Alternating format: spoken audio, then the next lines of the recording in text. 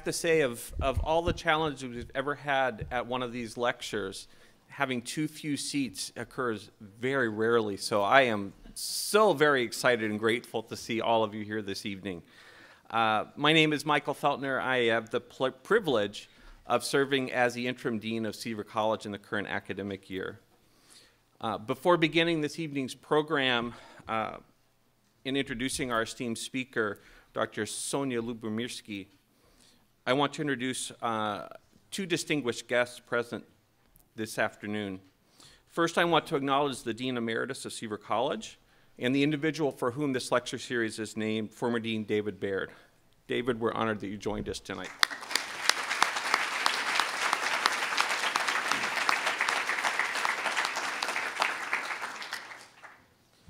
Next, it's my sincere privilege to recognize Melanie Flaminio. Melanie and her husband Richard are the benefactors of the W. David Baird Distinguished Lecture Series. The Flaminios endowed this lecture series to honor Dean Baird for his service to Pepperdine and Malibu and to broaden the educational experience for all in our community. Melanie's a professional singer known throughout the music world as M.E. Page. And she also supports Pepperdine in many ways, and one of those is as a member of the Seaver College Board of Visitors. Melanie's joined here this evening by her daughter Amber, and Amber holds a Master's of Arts in Psychology from Pepperdine University Graduate School of Education and Psychology. So Melanie and Amber, we're very grateful that you're here tonight. And if I may, could I ask that you please stand so we can express our appreciation?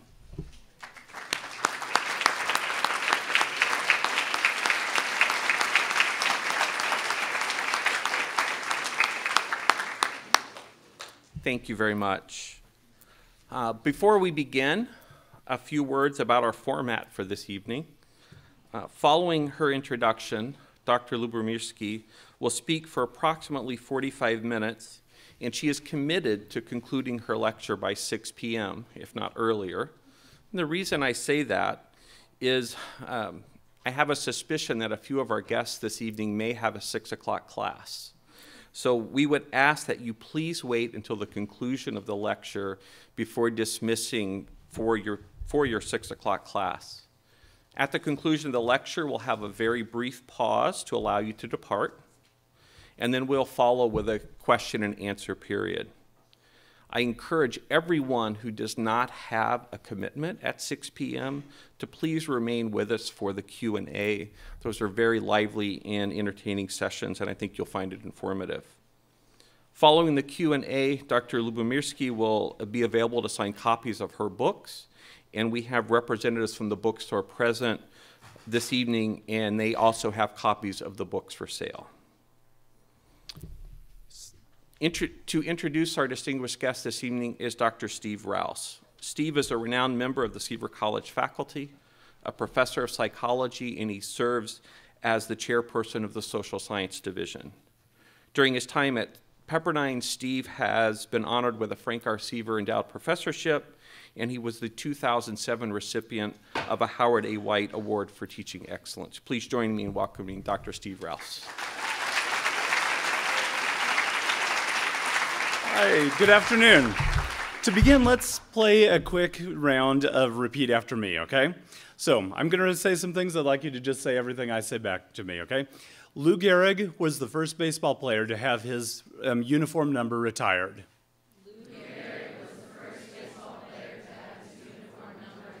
Good. Okay, Lou. Lou. Good. Okay. Tie your shoelace in a bow. Tie your shoelace in a bow. Good. Bow. Great. Simba's friend Timon was a meerkat. Simba's friend Timon was a meerkat. Mere? Mere. Great. Okay. It is better to ski than to snowboard. It is better to ski than to snowboard. Ski. Ski. Lou? Lou. Bo? Bo. Mir? Mir. Ski? Ski. Lyubomirsky. Excellent, excellent. Great job. In the past few years, a lot of my students have been reading the research of tonight's lecturer, Dr. Sonja Lyubomirsky. You see, in one of my classes, Personality Psychology, my students are required to write a term paper not about a topic in personality, but instead about the research conducted by a contemporary personality researcher. I give my students a list of some of the most prolific and influential modern personality researchers and teach them how to conduct a search of the articles written by one particular person. Then I encourage them to simply pick a, a, few names at random and read the titles and abstracts of their work and find someone whose research captures their interest. Well, in the past few years, a lot of my students have opted to write about Dr. Lyubomirsky's research. But can you blame them? I mean, imagine that you come across a person who's written articles with titles like Recalling positive events at work make employees feel happier, move more, but interact less. Um, then another one, I like this one. In defense of parenthood, children are associated with more joy than misery. and then another one, is it possible to become happier? And if so, how? Who wouldn't want to know more about topics like this? Well, in welcoming Dr. Lyubomirsky to the podium, I could talk more in depth about the 55 peer-reviewed journal articles that she's published, each one exemplifying a methodologically strong research.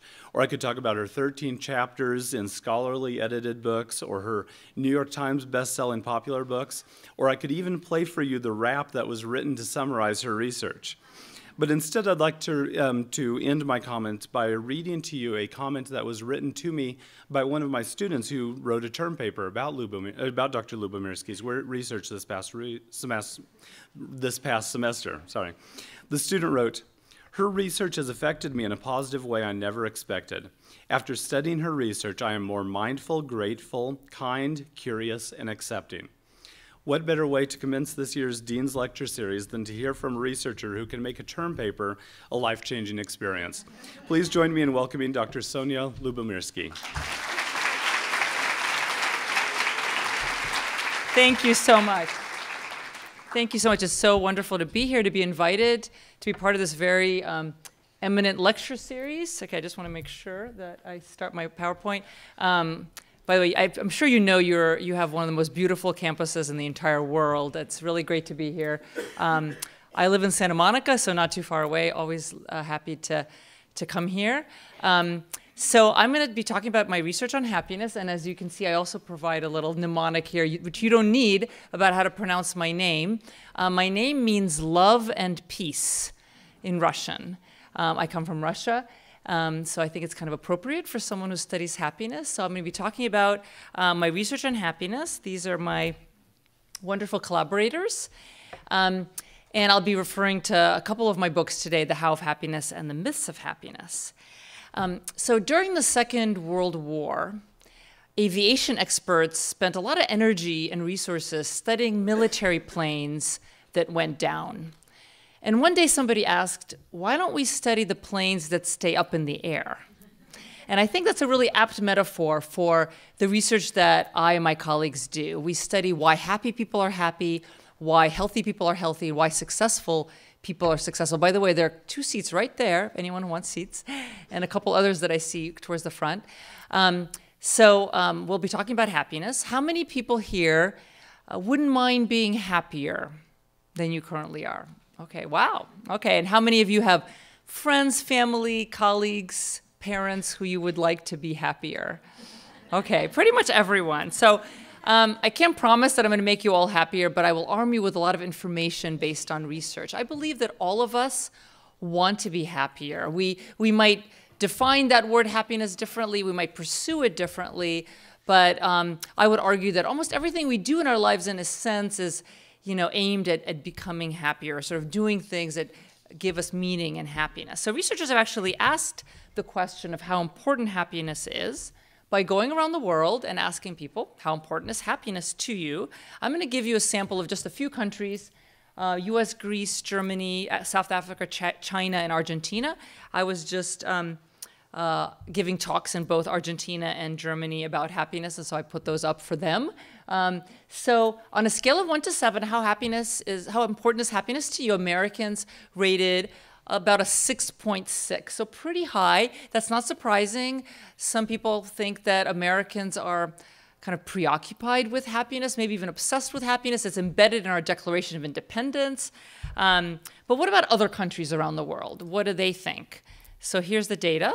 For other countries, also you know, very high, very high importance placed on happiness. I should mention that there are some significant differences in this graph. So um, people in Germany and China actually rate the importance of happiness as, as lower than other countries, around a six.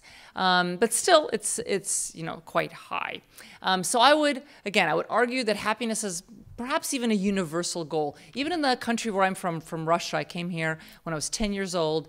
Um, you know, people talk about the importance of suffering, right? So you have to suffer to build character. Uh, to gain salvation into the next life. Um, and of course, there's other cultures and religious traditions that kind of focus on suffering. But even in Russia, when you ask people, uh, what do you want most for your children? They'll say, I want my children to be happy. So I think it sort of depends on how you, how you ask the question. So, you know, many people, if not most people, want to be happy. Um, so is happiness a good thing? You know, some people think that happy people are selfish. They're kind of focused on themselves, right? It's all kind of about me, me, me. They're not very focused on others. That happiness is really about pleasure. So my colleagues and I tried to address this question. We did what's called a meta analysis, which is a study of studies. We looked at 225 studies that were done on happiness. Um, and what we found were that happy people um, were more successful, actually, in health, in relationships, and in work. So, for example, we found that happier people are more productive at work and more creative. Lots of studies show that um, if you measure happiness at work, the happiest, the happiest people today will be more productive, say, in three years happy people make more money and they have better jobs. So, of course, the causal direction goes both ways. Having money makes you happier, but also happy people are better at accruing more money. Um, happier people are better leaders and negotiators. Happier people have better relationships. They're more likely to marry, less likely to divorce. In one of my favorite studies, researchers looked at college yearbooks. They looked at the yearbooks from Mills College, you know, which is a women's college in uh, Northern California. Um, and they found that, and they coded the pictures in those yearbooks. So, okay, from now on, you're going to all take a look at your high school or college yearbook photos to see if, the, if these women show genuine happiness in their college yearbook photos. Okay, and it's something that you can't, it's called a Duchenne smile. You can't fake it. Very few people, unless you're a really good actor, can fake a Duchenne, sort of an authentic smile. Women who were who showed genuine happiness in their college yearbook photos at age 21 were more likely to be married by age 27 and had more satisfying marriages at age 52. It's kind of amazing. So there's something that carried through. Um, happier people have more social support. They say they have more friends. Happier people are also healthier. I'm going to talk about that in a second. They even live longer. Um, and, you know, contrary to this perception that happy people are more kind of ego centered or selfish, happy people are actually more other centered. They're more charitable, they give bigger tips. Um, if you know uh, individuals who are depressed, or if you yourself have been depressed, you know that depression is actually makes people kind of focus inward. And that's, you know, people say that that's adaptive, right? When you're sad or depressed, you need to focus on yourself to understand your problems. And so you can argue that when you're happy, you actually kind of have the luxury of focusing on others, right? You're not sort of so focused on your own problems. So happier people are more philanthropic, and happier people are also more resilient. They cope better with stress and trauma. Okay, so let me talk uh, uh, uh, for a bit about, um, okay, I already talked a little bit about marriage, about um, health. Okay, so why do you think, maybe I'll throw this out, why do you think happier people are healthier? What's a, what's a reason?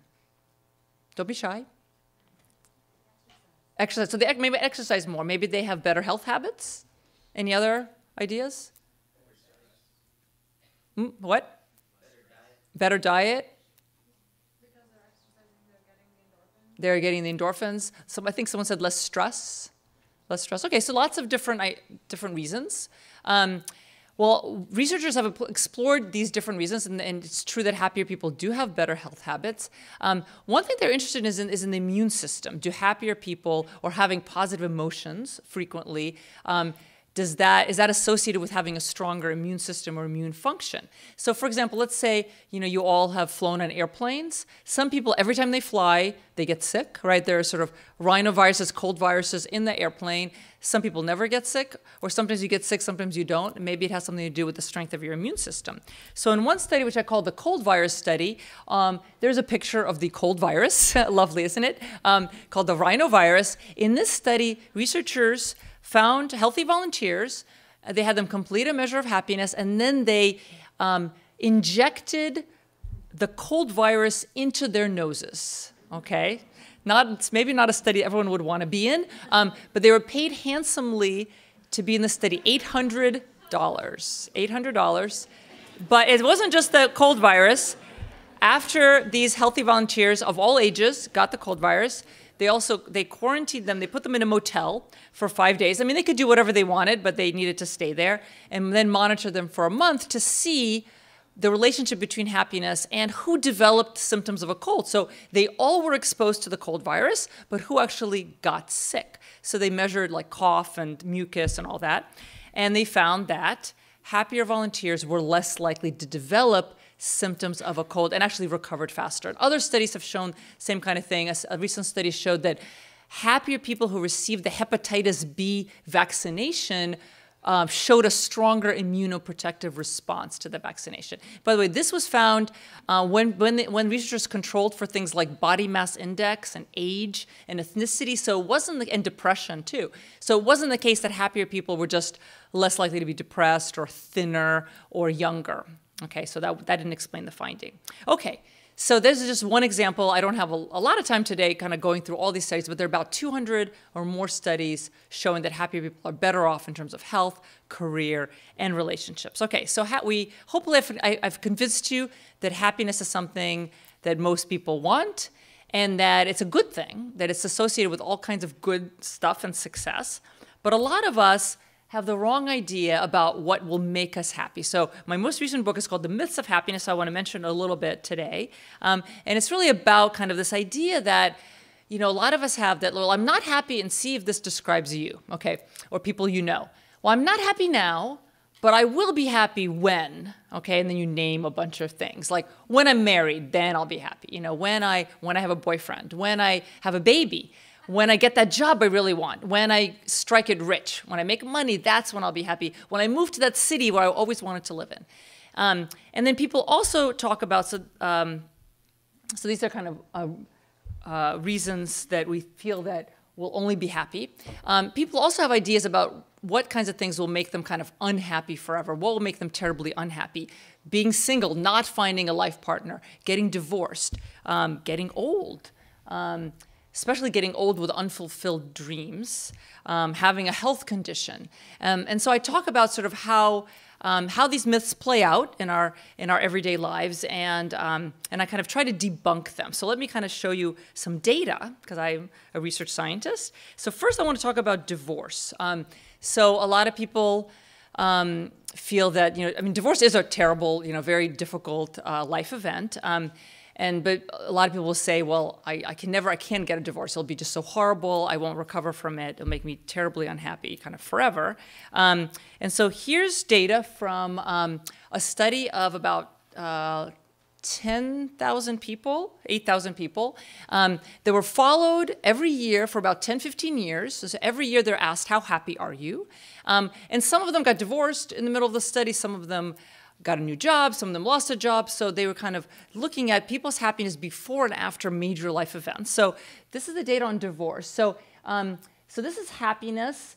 Uh, year zero is the, uh, the year of the event, in this case, divorce. Um, and whenever you see an asterisk or a triangle, that means that people's sort of baseline happiness has either dipped significantly below um, I mean, sorry, the, their happiness has dipped significantly below their baseline or has risen significantly above. So you see zero, year zero, and I'm, I'm kind of hiding part of the data. Year zero is the year of the divorce. You see how two years before the divorce, people's happiness is already lower than they, it used to be. Does that make sense? Maybe that's kind of the, you know, things aren't going well in the relationship. Um, then they get divorced. So what happens the five years after divorce? Okay, look at that. Okay, so um, four, year four or five after the divorce, people are way happier than they ever were in the relationship. Now, we don't have data kind of going even farther, maybe 10 years back, 15 years back. Um, and actually, I have a friend who's going through just a terrible divorce right now. Terrible, terrible. And I sent her this graph. Um, and she told me that she looks at the graph every day every day. Now, of course, it's an average. It doesn't mean that it's going to happen exactly that way for you. It's an average over many, many people. Um, so this so show, shows how resilient people are. Um, and here's data for um, being laid off. So this, these are people who are laid off from their jobs. You see uh, the year before the layoff, people are already less happy than they were. So maybe there's an indication in their workplace that there are going to be layoffs coming. Maybe it's not, you know, the company's not doing so well and then it takes about 40 years for people to recover from that. Um, here's widowhood. Uh, widowhood is a much more kind of severe event. People become very unhappy. A year before, the, the, the, the spouse is probably having health problems. Um, and, then and then there's a, a rise in happiness. Um, it takes five years to kind of get back and get over um, the baseline. So that's widowhood. So the take home points, or the take home point is that people are remarkably resilient, that almost nothing is as misery inducing as we think it will be. So we think, like, oh, I'll be terribly unhappy if I get divorced, or even if I become widowed, or I don't make as much money as I thought I would, if I get diagnosed with a um, uh, medical condition. Um, uh, studies show that people who are facing adversities actually report kind of a silver lining. In one of my favorite studies, women who have uh, breast cancer reported that, um, sorry, two thirds of women with breast cancer reported that the cancer led to positive changes in their lives. Um, they said that it um, led them to kind of appreciate the preciousness of life. It was a sort of a wake up call. Um, they realized what their real priorities are. Maybe it's, it's family over versus work, or maybe it's that they really wanted to be a teacher or an artist. They realized who their true friends are. Um, and then they realize that they have strengths that maybe they didn't even know they had, maybe kind of a maturity or a courage or humility or sort of just the ability to get through the day. And lots of studies on this show the same kind of thing that people who are overcoming adversities um, sort of realize that they have strengths that they didn't even know they have. Not, not, not to say that we should all kind of experience adverse events just so we can grow, um, but, but um, this is, by the way, it's called post traumatic growth. Okay, so um, these are, um, so that's why I sort of call all of these myths. Now, I'm not saying that we should all get divorced or, uh, you know, not have kids.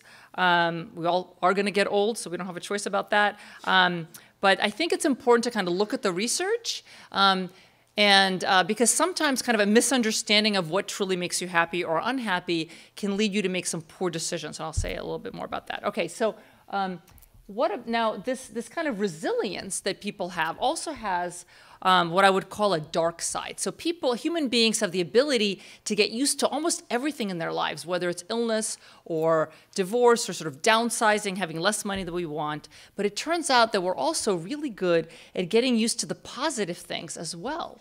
So I'm sure you've all discovered this. You get a new gadget or a new car, or you move to a nicer home, a nicer apartment. At first, you're really thrilled about it, and then you get used to it, right? And then you you want even more. This is called hedonic adaptation. So one example I like to use is uh, a number of years ago, I had LASIK. Anyone here has had LASIK? Um, you know, and I used to hate glasses and contact lenses, and I was almost blind. I couldn't, you know, see very well at all. And you know, this like two-minute procedure, and I had 20/20 vision. And you know how long it took me to adapt to that vision and sort of take it for granted? Two weeks. You know, two weeks after a lifetime of sort of near blindness. So, um, you know, human beings are just very good at getting used to good things. We get used to um, being a college student, being called a dad, being called a doctor.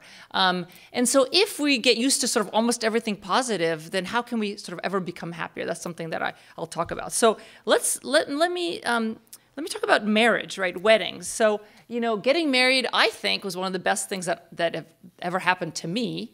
Um, but people adapt to even things like marriage. Okay, so here's the same data from the same study. By the way, all of these data are for females, but the data from males are almost identical. I just didn't want to show too much. Um, okay, so year zero is the year of the wedding. Um, you see negative one a year before, people are already happier than their baseline. Does that make sense? Yeah, they're in a great relationship, maybe they're engaged.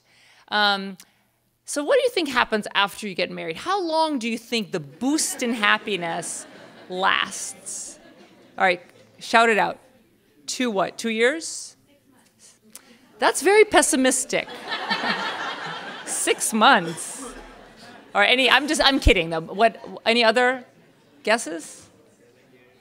Seven years? You know, you hear about the seven year itch, right? That must come from some research.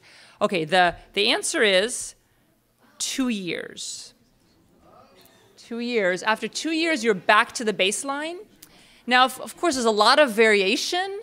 Some people get happier and they stay happier. That's actually, those are the people I'm really interested in, talking to them, like what is it that they're doing differently.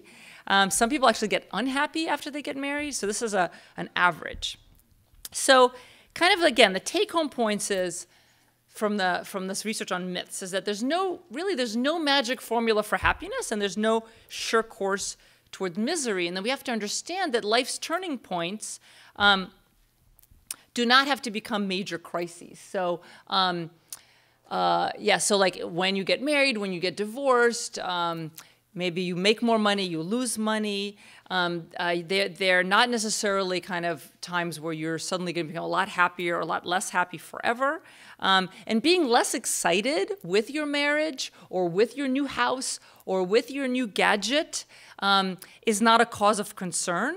Um, sometimes people, and we all, we all know people who like constantly change jobs, right? They're like, they're, they, they get, they're in a new job, they're excited, then they're kind of bored, oh let me get another job and then they keep moving and same thing for relationships right or or cars i read somewhere i think it was like the average american owns a car for something like two years something ridiculous like that. And people of course like to lease cars because they can get, new ones. Um, so we just get bored and like we're like oh i want something new and different. So um, that kind of belief and thinking, like thinking, oh, um, there must be something wrong with me because I'm not, um, you know, as excited with my relationship or my job as I used to be. People have to understand that that's part of human nature. Now, sometimes your relationship or your job or your house really does need changing. Um, but often that's not the case. We're just we're just undergoing this very natural process of hedonic. So remember that hedonic adaptation. Remember that and recognize it when you see it happening to yourself. Um, now, how do we um, how do we kind of keep that excitement alive? How do we not adapt to our new marriage or a new job or a new car? Um, well, it's hard to do, um, but there are, and I talk about in the in my book about sort of how to use variety and novelty and surprise and appreciation to try to not adapt. So appreciation is pretty obvious. You move into a new home and you really try to, or you get a new car and you try to appreciate that home or car to really to really think about like not take it for granted. That's a that takes effort. Um, variety novelty surprise. If we open ourselves up to challenges opportunities growth experiences meeting new people um, we're less likely to adapt right? So a relationship where you kind of do the same thing every friday saturday night you're going to adapt to it. But a relationship that kind of keeps you growing maybe together you you take up new hobbies, you meet new people, um, that can prevent you from adapting. So those are sort of some of the strategies people can use. Okay. Um, okay, now what about children? Um, so you heard I have this article about in, called In Defense of Parenthood. Okay, this is what happens, by the way, this is a picture of one of my, I have four kids, um, and I, but although I started doing this research when I had two, um, picture of one of mine like five minutes after birth. Um, so what happens after the birth of a child? So you see negative one, year negative one, already people are happier. Now they're not pregnant yet, right? Because these are actually both true for both men and women. But you know, maybe you're in a new relate, maybe you're married and you're you know anticipating having a child, um, and then the happiness kind of drops and then recovers. now, what is happening? I kind of like to ask this: What is happening at year two, three, that you think is making happiness drop for most people? What? Exhaustion. Exhaustion? I know, but why not year one? Right? Isn't, isn't a, a newborn or child is running? number, number two. Oh, terrible twos. Terrible twos. No, well, I don't think that's what it is. I think it's number two, right? So people are having another child when they're two, when the first one is two or three, and I think that really puts them over the edge. Um, now, I've, I, my, my students and I have been doing research on sort of parenting and happiness, and we find that the, the question of like, are parents happier uh, than people who don't have kids is actually not the right question to ask because there's all kinds of parents and there are all kinds of non-parents. So uh, what we have found, we have a paper on this, is that parents are happier than they're child-free, and I've learned to say not childless, but child-free, right? Childless is polit politically incorrect. Um, parents are happier than non-parents if they're middle-aged or old. Okay, so if you're a, okay, those of you contemplating parenthood in college, college students who are parents are much less happy than their peers who don't have kids. Um, now, of course, people who are older also have older kids, so that, that, has, uh, that has an influence. So if you have kids who are either in middle childhood or grown, you tend to be happier than people your age who, uh, who don't have kids. Um, the, the data on marital satisfaction shows that the happiest time in a marriage is when the kids are, are gone, when, they, when they have flown the nest, okay? That's called the empty nest. So those of you, the students here, um, you have caused your, you have improved your parents' marriages. Uh, if you've actually, of course, left the house, I don't know if everyone here has left the house. Um, the second happiest time is if you have, is during the honeymoon period of the marriage, right? So that's before kids. The, the least happy time, what do you, when do you think it is? Teenagers. Yeah, that's exactly right. The least happy time is teenagers. The second least is when you have at least one child under five. So I have two teenagers, 13 and 15, and two children under five. But we're, we're, doing, we're doing okay. We're doing good, yeah. Um, okay, so if you're married, also, as opposed to a single parent, you tend to be happier. If you're a father, sorry to say, fathers are a lot happier than men without children. Mothers with children are about the same in happiness as mothers without children. If your children live with you, if they're biological or adopted, having stepkids is not associated with bigger, more happiness. And if your children are relatively trouble-free, which seems kind of a obvious point, um, but research shows that all parents, well, overall, all parents report, uh, no matter whether you're married or how old you are, um, having more meaning than um, people who don't have kids. So there's a difference between happiness and meaning. Okay, so to continue, um, I've sort of shown you uh, some, some research about like the benefits of happiness and kind of misconceptions we have about happiness. So when we have kids, when we get married, or when we are diagnosed with an illness, sort of how can we become happier? How can we sustain that happiness? That's kind of the question that's been driving a lot of my work. Is it possible to become happier? And if it's possible to become happier, can we actually sustain that? Because we all know how to become happier for five minutes, right? So there's a lot of self-help literature. I don't know if any of you actually go to real bookstores or only virtual bookstores. No matter which kind of bookstore, you'll see lots of titles with happiness um, in it, in them. Um, here's just examples of some bestsellers. Happiness is free and it's easier than you think. And that's interesting. That's actually kind of the opposite of what I'm going to argue today, which is that happiness is harder to attain than you think. But you can't really sell books, right, that are called like happiness is really hard to attain. Um, you could be happy no matter what, happy for no reason. So again, the, there's a there's kind of a a theme in a lot of the titles. And again, it's maybe it's just the publishers driving this that's like happiness is easy and free. I get called by media all the time, pretty much every day. I get an email from reporters. Um, and sometimes the, the women's magazines are kind of the worst because they'll ask me, uh, like, um, give me five five minute happiness strategies. It's always like five minute happiness strategies. And I, and I tell them I can't do that. Um, you can't become happier in five minutes. Um, and my favorite book is You Can Be the Wife of a Happy Husband. Um, actually, if you look at the date, this book is not my favorite book, actually. So it argues that women should be submissive to their husbands, kind of do what their husbands want, and then you can have a happy husband. So I'm not actually recommending that book. Okay.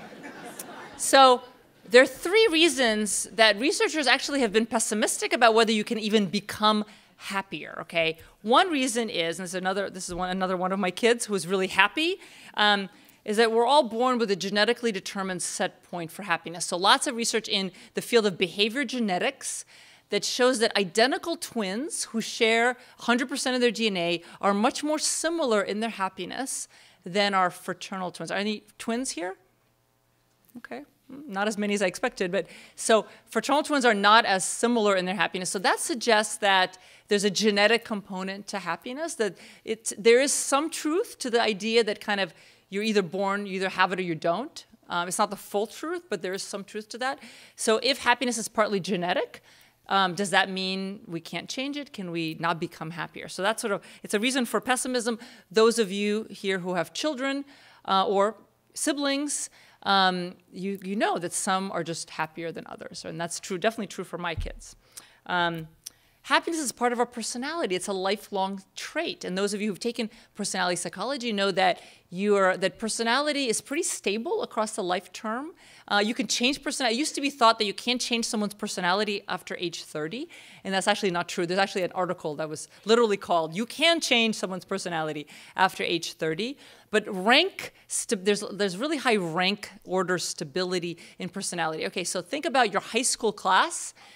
The kids who are the most extroverted in your high school class are probably 10, 20, 30 years later, probably still kind of in that upper you know quartile of extroversion. And, and that the same thing goes for happiness. So if happiness is a lifelong trait it's part of our personality then how can we really change it? And then there's hedonic adaptation which we've already talked about so if we adapt to almost every good thing that ever happens to us, then how can we become happier? So those are the sort of the reasons to be pessimistic.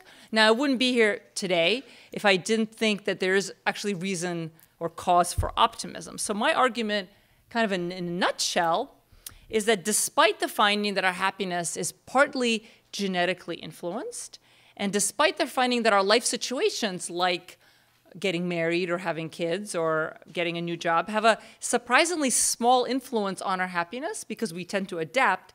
I argue still a very large portion of happiness is under our control. And my book, The How of Happiness, says that that's 40%.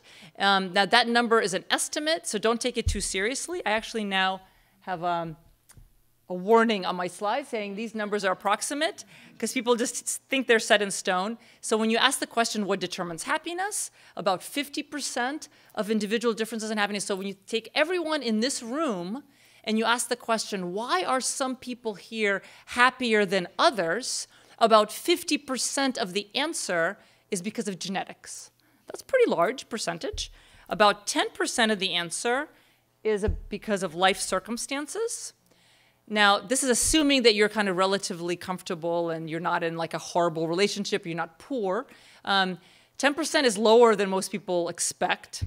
And so that leaves about 40%, probably less, I don't know what the exact number is, but a large portion of happiness that's under our control through the ways that we behave and the ways that we think. So there are things we can do to become happier.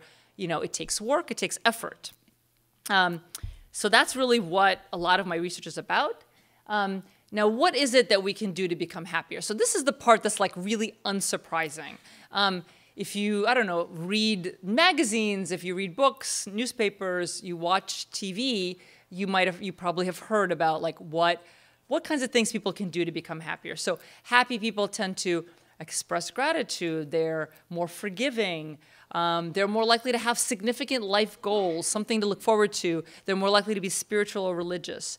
Um, they, they meditate, they engage in exercise. All of these strategies have been associated with greater happiness, and many of them have been tested in experimental research to sort of show that they can actually make people happier. So there are probably a hundred strategies out there. Um, so what I do in my research, I actually test them systematically. So just because someone tells you, oh, you should count your blessings and you'll be happier, um, that doesn't mean that that's gonna be effective. Okay, so what I do um, are called happiness interventions. And an intervention is kind of like a clinical trial. So clinical trials might test a new drug, and there'll be a control group, um, and clinical trials also might um, test like what's the right dosage of the drug or are there people who maybe shouldn't take this drug? Or maybe if you have a certain condition, you shouldn't combine sort of two or more drugs. So, in a sense, I'm doing the same thing, but I'm focusing on happiness strategies instead of drug treatments or other kinds of treatments. Okay, so um, these are some examples of happiness interventions that we've conducted in my laboratory with my grad students. And if there's anyone here who's interested in getting a PhD in psychology and, or positive psychology, um, email me. Uh, we have some room for new grad students over the course of the next few years. So what we do is, um, again, happiness interventions where we ask people over the course of several weeks or months on a regular basis to try to be more grateful, to try to be more kind to others, to savor their, their positive experiences. And of course, we follow them across time and we measure their happiness, usually just by asking them, How happy are you? Um, and we also always have a control group, some kind of neutral group that we can compare the experimental group to. So I'm just going to give you a flavor of some of the research that I've done, and these are also things that you could try yourself. Um, and my research articles, which are on my website, which you can easily get to by just Googling my name, um, and my books also sort of describe these. Okay, so um, we did a study for where we asked people to count their blessings for six weeks. So I'm not a big fan, actually, of counting blessings. I always thought it was kind of hokey, but a lot of people tell me that it works for them. They really makes them happier. So I did a study to test it. Um, so we had people write down. Oh, these were students. Actually, these were college students in this study. We have studies with all kinds of populations. Um, this one was with college students. We asked them either once a week, every Sunday night, write down five things that you're grateful for, or three times a week, every Tuesday, Thursday, or and Sunday night, write down what you're grateful for. Pretty simple, right?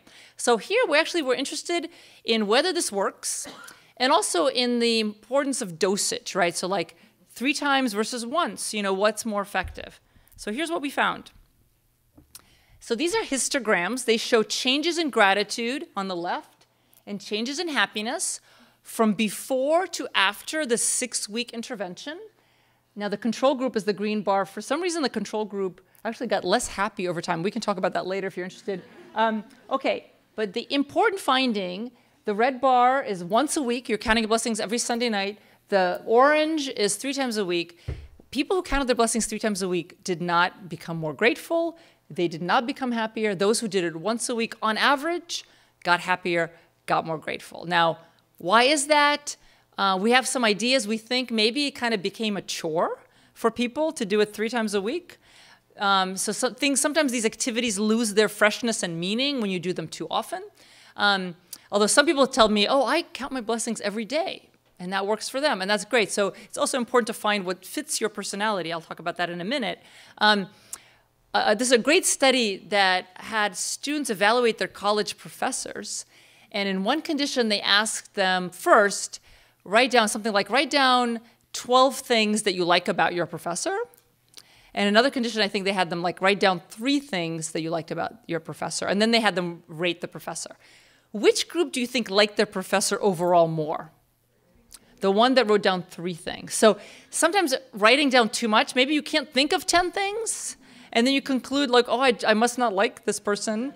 Um, and maybe the same thing happened with our gratitude manipulation, right? It's like you can't think of things to be grateful for, so it could backfire. Um, we're still working on this.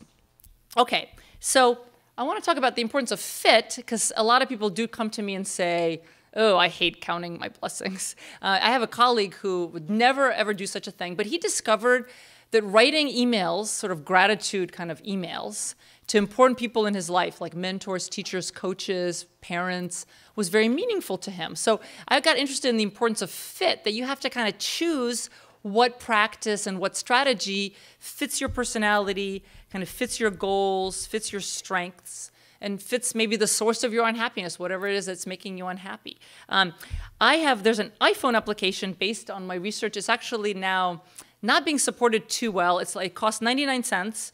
Um, it's called Live Happy. I don't make any money off of it. I use it for research, so I'm going to show you some data from it. Uh, we're now working on Live Happy 2.0. So those of you who like couldn't got too adapted to your gadgets and have gotten now the new like iPhone 6 or whatever, then um, you you'll need to wait for uh, Live Happy 2.0. So this in this particular iPhone app, um, we have eight different strategies that people can use um, with using their phones. Um, and so, for example, gratitude journal on the upper left-hand corner, you can write emails or texts or um, uh, call someone on your contacts list and thank them for something. One of my favorites is the Savoring album on the lower left-hand corner, um, where you can pull up a photo from your photo album and write about, or take a photo of, of someone you love or a place you find beautiful and write about it, kind of savor it. So the idea is that you use your phone to engage in these different happiness strategies because we thought, well, people have their phones all the time, so it'd be easy to do this. Um, but we also are collecting data, so we ask people how happy they are before and after, sort of throughout their experience, and we ask them about fit. How much do, are you enjoying doing this? How natural does it feel for you to do this? And this is what we found. Um, these are the eight activities, um, and this is sort of the average fit for our users. Interestingly, the gratitude journal was pretty low in fit on average, but actually it doesn't really matter what the fit is because it's going to differ for different people. What matters is the, sorry, if you, I don't know if you can see this, the higher the fit with a particular activity, the more likely users tried that activity and the more likely that they benefited from it by actually becoming happier. So maybe that's kind of obvious. Okay, so um, I want to tell you about another study fairly quickly that we did where we asked people to try to become more optimistic. Um, and the intervention we use is we ask people, um, and actually this study also was done with students. I've tried to pick up some studies with students. We asked students, imagine yourself in 10 years. We think 10 years is kind of a good amount of time. And imagine your dreams coming true. So like in 10 years, you have your ideal job, or your ideal partner, whatever. Um, and, and every week for, um, for eight weeks, they wrote about this for, in different domains in life, sort of career, health, romantic life, family life, okay? So those are the instructions. Kind of think about your future, write about um, everything going well. So it's essentially an optimism exercise. And then we also had a gratitude condition where we had students write, and people were randomly assigned to one of these groups, write gratitude letters. So every week you choose a person in your life who's maybe really helped you, had an impact on you, and you write them a gratitude letter. You actually could write to the same person across a couple or two, three weeks, um, or you can choose a new person every week. Um, and these are actual actual um, sample essays that, that students wrote. Here's one that a student wrote. Um, this is the optimism condition, and this is about their family life. Um, and they wrote, I guess that if things were ideal, I would have moved where my family is, and I would have a relationship with my family again. Um, having my sisters and their husbands over for supper and game night, uh, possibly adopting a child or two. So, um, you know, they sort of write about kind of their, their life that they imagine in 10 years. Um, this is a letter that a student wrote uh, in the gratitude condition. Dear, I just put took the name out. Um, I just wanted to write you a quick note to let you know how grateful I am. Um, I know I don't tell you how, this often. Um, I appreciate all the times at work when you would bring me in lunch or special treats. You always made me feel welcome. So, anyway, this is an example of a gratitude letter. So, we had people write gratitude letters. We also had people try to be optimistic. We also had a control group. And in this study, we're particularly interested in the importance of motivation you know, if you want to become happier, you got to be motivated and put the effort into it. And so we had half of our students sort of self-selected into the study because they were really motivated to become happier, and half, you know, didn't really care. okay, so um, these are this is happiness, change in happiness from before to after the study on the left. The green bar is the students who were sort of not really that motivated about happiness. The red bar people were motivated, and six months after the study was over, which actually for us is a kind of a long time, You've long forgotten being in that experiment. Um, so the red bars, the, the motivated subjects are still happier whether they practice gratitude or optimism. So motivation is really important. Okay, and what about social support? You know, I'm a runner, and so I want, and I have a buddy that I run with. So when I wake up in the morning, I don't want to get get out of bed, but I know that she's going to be waiting for me at our sort of predetermined spot, and she'll be she'd be really upset if I wasn't there. And I'm I probably play the same role for her. And so we were looking at the importance of kind of having support, your family, friends, maybe a buddy to kind of practice these activities with. And so this study, we asked people to um, think of their best possible selves, you know, their dreams coming true in the future. Um, and so the red bar shows that people who practiced optimism got happier relative to the control group. But then the green bar shows that if you had social support, you got even happier. So again, maybe this is kind of an obvious finding, but it's important to show that social support is, import- is matters. Um, Another question that we're interested in is whether our um, happiness interventions might, might help people who are depressed. And so, um, you know, sort of the question kind of is, is if you're depressed, would you benefit even more from these kinds of interventions, from trying to express gratitude or optimism or do kind acts? Maybe because of floor effect, if you're kind of over here, you have more room to improve and you're more motivated to improve. or maybe if you're depressed, you're going to benefit less because you if you can't get out of the house, you know, you're not going to go out and do acts of kindness for people. We actually did one study with, with college students, and we found that asking depressed college students to write gratitude letters actually made them a little less happy. And we were surprised. We actually stopped the study, and it turned out that they just they felt like a failure. They were like, I don't have anything to be grateful for. So it just was too difficult a task.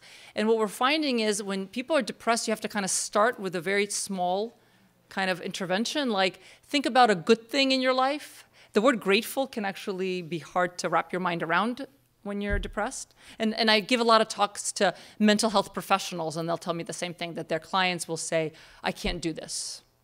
Um, now, this is one of my favorite findings I'm going to show today. We're also interested in the importance of culture. And so let me, before I show this, let me explain kind of what, um, what, uh, what we did. So we have a collaboration in, in South Korea and so we had South Korean college students and American college students do acts of kindness on a regular basis for, I believe, for six weeks, or write gratitude letters. And so this is the data for Americans, the American students, and we found that this is change in happiness from before to after the six weeks. So zero is kind of before the study, one is three weeks into it, and two is right after the study's over. And you see the, whatever, I think that's teal, the teal line um, Students who wrote letters of gratitude got happier over time. You see that? Got happier over time. Students who did acts of kindness on a regular basis, that's the red line, got happier over time. These are American students. These are UC Riverside, where I teach. And this is what we found for the Korean students. It's really interesting. So the Korean students who did acts of kindness got a little happier, and the Korean students who wrote gratitude letters actually got less happy. And so we've been very interested in this finding. We've talked to a lot of people from Korea and our collaborators who, who say that, you know, gratitude is kind of a mixed emotional experience in Korea, that there's sort of this expectation of reciprocation when you express gratitude. And sometimes it can even be insulting, like you're not supposed to thank your parents.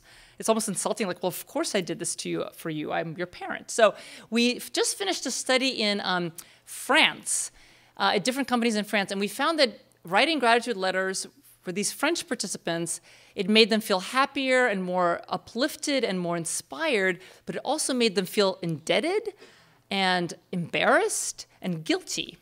So gratitude could have kind of this mixed emotional experience. So sometimes it might even backfire. So that's something that we're interested in studying as well. Okay, so very quickly, what's next? Um, we're looking at how positive activities work. Um, does age matter? We've looked, we've done studies with teenagers and with kids. We were actually really worried that teenagers would not like want to write gratitude letters. Some of you are teenagers, and actually they loved it. They said they recognized that they weren't grateful enough. Uh, we, we just finished a study with um, teenagers in the UK, 16 year olds, um, and we're looking at, these were twins, so we're looking at kind of possible genetic influences on who benefits from a happiness activity and who doesn't. Uh, we, we don't have the full data yet. Um, oh, in terms of age, I also want to add that it turns out that older people are happier than younger people. Um, and by older, I mean like 40s, 50s, 60s into 70s. Um, and it, it, turns out that they're emotionally wiser. It's kind of like older people know what makes them happy, and that's what they do. They know certain people make them happy, and that's who they spend time with. Um, and so, um, and that's an interesting finding in itself. In itself, we're also interested in measuring behavior. So we've done studies where we have people wear these badges, and the badges have an accelerometer in them, just like your gadgets might. So it measures physical activity, and they also send and receive infrared signals. So if you're all wearing badges, I can see who's talking to who, like who interacts more. So we did this study. This again, this is one of the titles that you heard about today from Professor Rouse. So we did a study in a Japanese company where we asked them to write down three things that went well at work. And you can translate this to school also. You can also all try to do this. Three things that went well at work or school. That was the experimental group. And the control group wrote about three tasks that they accomplished. people who wrote down three things that went well at work got happier, more connected with others, and they moved more. It looks like they had more energy uh, at work, and they left work early, which we think is a good thing because at this Japanese company, most people worked until like 11 or 12 at night. Um, so anyway, so that's kind of interesting. So I would sort of leave that for you that, uh, that that kind of practice every week, thinking about what went well at school or work. Um, and I'm going to uh, end with a quote from Aristotle, who 2,000 years ago kind of spoke, basically described the gist of my research, which is that happiness depends upon ourselves. Thank you. If you have a question for our speaker, please raise your hand. We'll give you the microphone and we'll begin. Thank you. Um, I wanted to follow up on the depression. This is strange. Um, you mentioned that, at least the example you gave when speaking of people who were depressed, mm-hmm. that the experiment didn't really work for them. Are there experiments that do? Yes. So um, there's not a lot. Uh, so that there more research that needs to be done. Um, so Marty Seligman, who's at Penn, um, did a study with severely depressed people where we asked them every day to write down three good things. So that's kind of where, I, where, where my suggestion comes from, that to make it like very simple. And they um, had a pretty incredible response to that. So I just think using the word gratitude makes it, I don't know, just makes it harder to, for depressed people to, um, again, to kind of wrap their minds around it. So um, I don't really know of a lot of studies with depressed people like with doing other kinds of positive activities. So it's just there's more that needs to be done. But um, but again, I think um, starting kind of simple. You know, I do a lot of studies where I haven't really discussed them, but where I ask people to do acts of kindness. And so, yeah, if you're like really depressed, you're not going to go out and like you know meet people and and do nice things for them. But maybe you might do acts of kindness that are from your using your computer or you know some some simpler way. So um, yeah, you just have to kind of tailor the strategy to the individual. Thank you. Yes. So right here. Oh.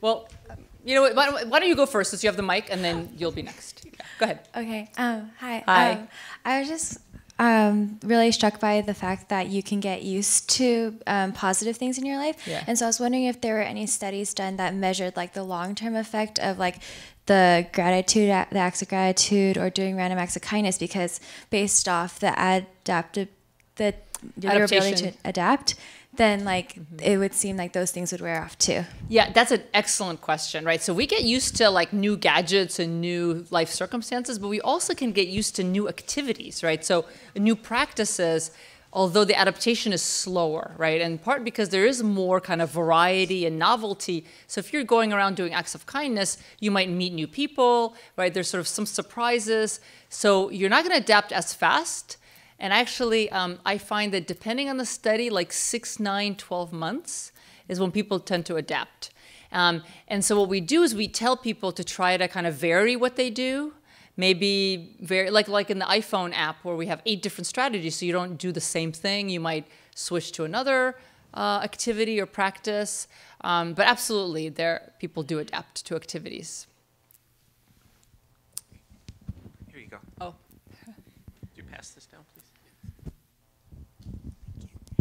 When you were talking about the parenting and you said the difference with um, happiness and meaningfulness, mm-hmm. I was wondering if you could talk about the measurements for meaningfulness because there would be empathy or spiritual development in that. Mm-hmm. Sure, sure. Curious. And I, you know, just such a short talk, I didn't go into kind of even definitions of happiness and meaning. Um, so happiness is defined as having two components: the sense that your life is good, that you're satisfied with your life, that you're progressing towards your life goals, but also positive emotions, right? Experiencing curiosity, pride affection, uh, joy, etc. Um, and so you kind of need both of those for happiness. Now, meaning is, is I'm actually, I'm not a meaning researcher. I'm not sure if I, I can give a good definition of meaning, but in terms of measurement, we've used um, measures that are just kind of ask people like how much meaning do you have in your life like i, I feel like my life has meaning or I, I think my life is meaningless uh, reverse coded so these are self-report measures so yeah they i think empathy and spirituality would play a role in that, but it's not part of the measure. You know, I think it's a, cor- a correlate. So people who are, for example, more religious and spiritual report more meaning. Um, and so, like the studies with parents, um, some studies uh, measure both, you know, either usually either happiness or meaning, um, and then they find, you know, that pretty much in, in, most studies, on average, people who have kids report more meaning, uh, but they don't necessarily always report more happiness. Um, the reason I ask because the Astin research out of UCLA shows that um, empathy is one of the five distinguishing features when you have spiritual development. So that's why I was asking more about empathy, especially relating to parenting. Yeah, yeah, of course. That's such an interesting question. I just don't know any research on empathy and parenting. I guess that's a great, uh, maybe there isn't another field, but not in my field. So that's a great opening for future researchers. Thank you. Yeah, hi. I was wondering if you found a correlation between friendship and happiness, and like if someone had a friendship with their family, would that make them more happy, or how many friends they had? So, uh, and I haven't done this research myself, but yeah, there's a, a, very strong correlation between happiness and friendship, both the number of friends and the quality of friendships and the quality of support. Um, I don't know of any studies that actually experimentally test this, like the activity would be okay, try to make a new friend or try to enhance your friendships. And that would be a great, again, the great study to do. I would be shocked if it didn't work, you know. Um, in fact, I have a chapter in my first book, The How of Happiness, on relationships and how people who nurture relationships are happier. Thanks. There's someone behind. Oh, I have a question. Um, during health crises, have you Sorry. seen uh, any research or have you done any research on how to maintain your happiness or your level of contentment during a health crisis? Right, right. So um, I myself don't do research in this area, but there really is a pretty big um, literature on this. People study individuals facing all kinds of you know medical crises and or, or chronic conditions or pain. And so, uh, uh, and I actually have a chapter in the How of Happiness about about some of this and about coping and kind of what coping strategies are good. Like, again, this is going to sound um, kind of simplistic, but you know, looking on the bright side. You know, trying to grow from the experience, not dwelling on the negative. Um, so, and this is called post-traumatic growth. How can you kind of grow from traumas? Um, not that everyone does. Um, but again, I'm not a, an expert in it, but I could suggest either maybe start with that chapter because it has some references that you can look at, and you could always email me if you want um, sort of more references. Thanks. Uh, yeah. Hi. Um, first, I just wanted to say thank you so much. I really look forward to reading both of your books. Um, second, as someone who has close friends who has family with a history of substance abuse, mm -hmm. I was wondering if you have studied um, graphs like you have with cancer and widowhood, et cetera, um, that show a growth in happiness after people give up alcohol or smoking or drugs, and um, what happens after that point at zero. Yeah, wow. Um, yeah, I don't know any research on that. I, that would be so interesting to look at. Um, I do have a colleague actually who studies alcoholism, and he studies former alcoholics. So people who used to be alcoholic and they are no longer, well, I mean, I guess they consider themselves lifelong alcoholic, but they don't use. Um, and he studies redemption and how people um, talk about that experience in, in using the words, sort of the language of redemption, like it was a redemptive experience and they're kind of better off now and they're more mature and more complex and happier now. So that's something to look at. His name is Will Dunlop, D U N L O P. But um, those that's more of a narrative kind of perspective. Um, I don't know. I don't know any research on the kind that you're asking. Wow, lots of questions. Yeah. Hmm? Should I wait? Hi. Hi. Sorry, I wanted to make sure you were looking this yeah, way. Sorry, sorry. I know there are multiple mics. Yeah. So I have a question about sort of the communal conditions, mm-hmm. right? So I, I, for example, scanned on Netflix and I've seen a film that describes a place where there's a higher proportion of people that are happy. Mm-hmm right, in comparison to other locations. So I'm thinking about an institutional context like this. What are, what are some of the conditions um, that might actually foster happiness from a communal perspective, not just an individualistic perspective. Right, right. While that's valuable and important, I'm also interested in how to extend this to sort of structural space. Sure, sure. Yeah. A very good and difficult question to answer. So actually, the city of Santa Monica right now is engaged in kind of a well-being initiative. In fact, I just took their survey where they're measuring the citizens, the residents' happiness and well-being, and trying to understand kind of what they can do to improve the city in ways that kind of foster the residents' well-being? Um, so that's a really hard question. Um, and I'm not an expert in it. I know at the level of like nations, what has been associated most with happiness are equal rights, democracy, democratic institutions, um, uh, you know, and GDP, so like wealth, you know, money. Um, you know, um, it, although the, it's all correlational, right? So nations that are wealthier also happen to have be more likely to have um, like things like equal rights and democracy. And and what makes people really unhappy is economic uncertainty, political uncertainty, like war, not surprisingly, um, and gr- graft and corruption. So that's kind of, I mean, obvious kind of general answers in terms of like more community level, you know, social capital, where whatever can like um, foster relationships, you know, better family and neighborhood relationships. Um, I think would increase happiness. So again, it's not really my area. It's almost like you want to talk to a sociologist, um, but that's a start. Thank you. Yeah. yeah.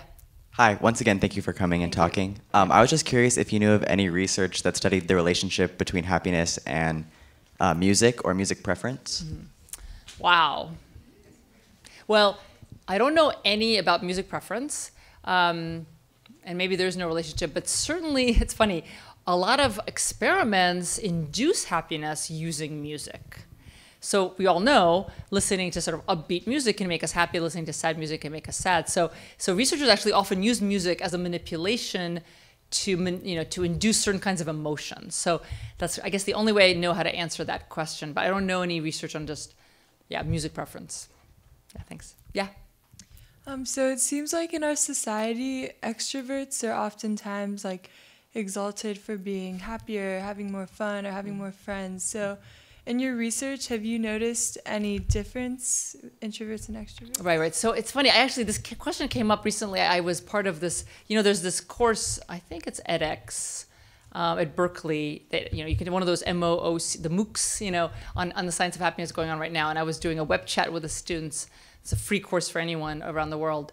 Um, and that was like a question that came up repeatedly. People kept saying, you know, because it there is a correlation between extroversion and happiness. Extroverts are more likely to be happy. And people kept saying, well, but you know, I'm an introvert and I'm really happy, and why can't introverts be happy? And some of you may be familiar with Susan Cain's book and TED Talk on introverts called Quiet. Um, so, like, like a third of people in the world are introverts. Um, and all I can say is that it isn't. It is a, a correlation. And what I think I think I don't have the data, but I think what happens is that if you look at extroverts, more of them are happy. So like let's just I don't know, let's just pull it out of a hat.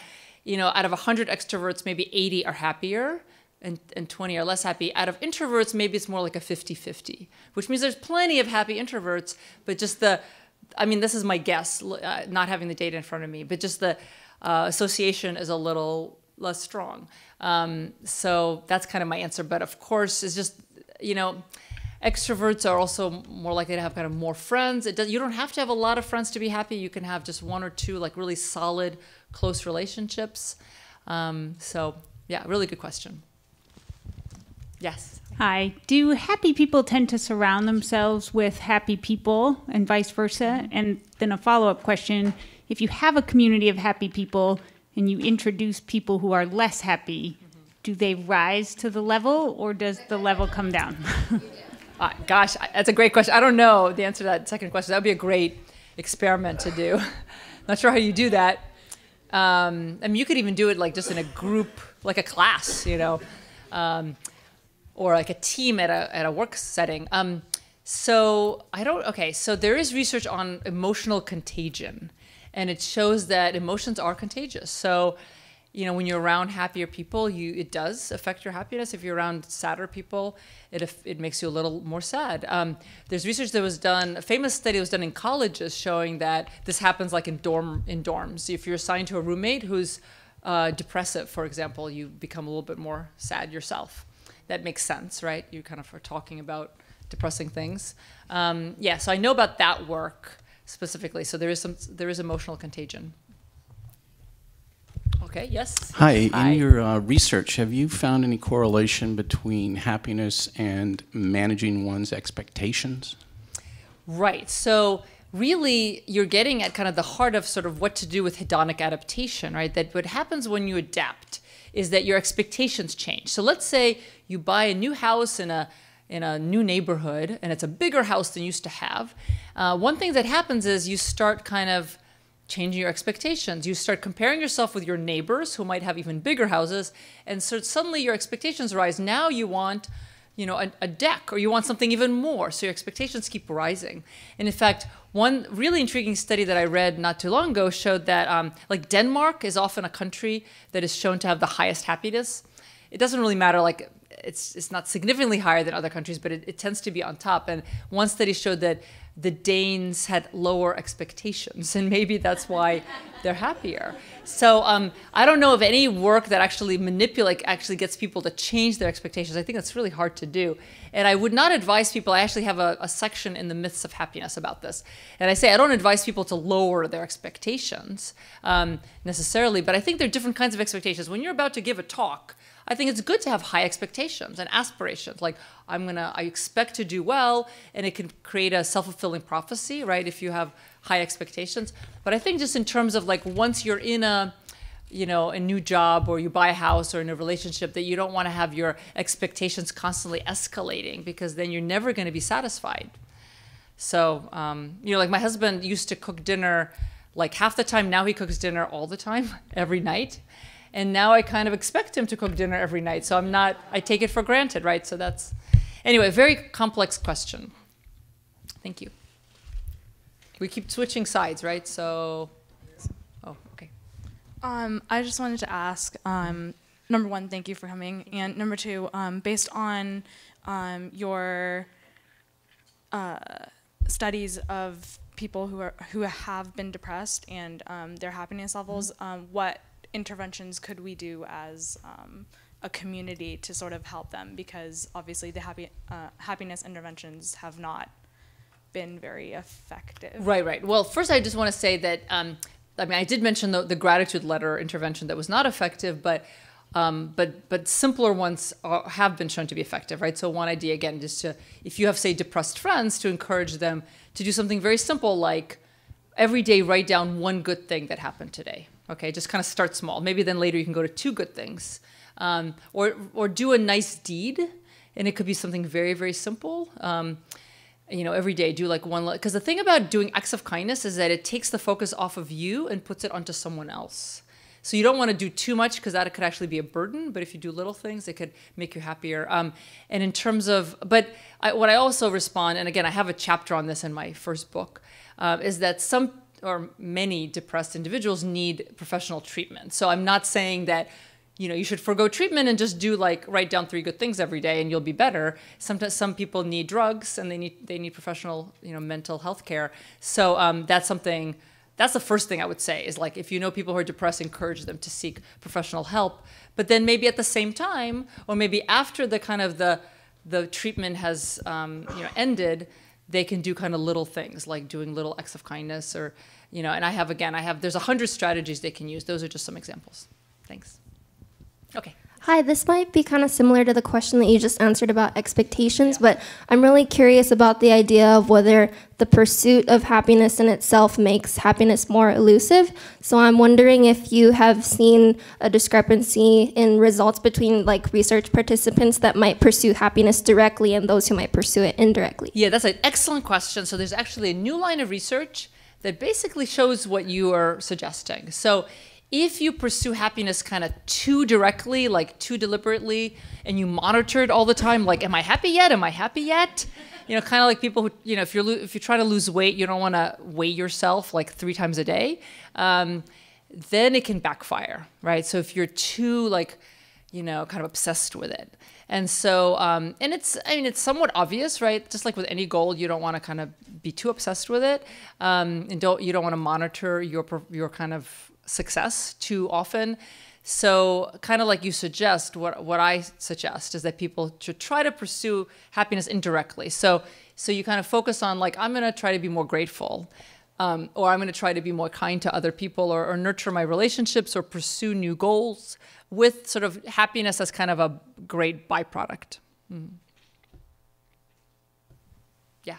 Okay.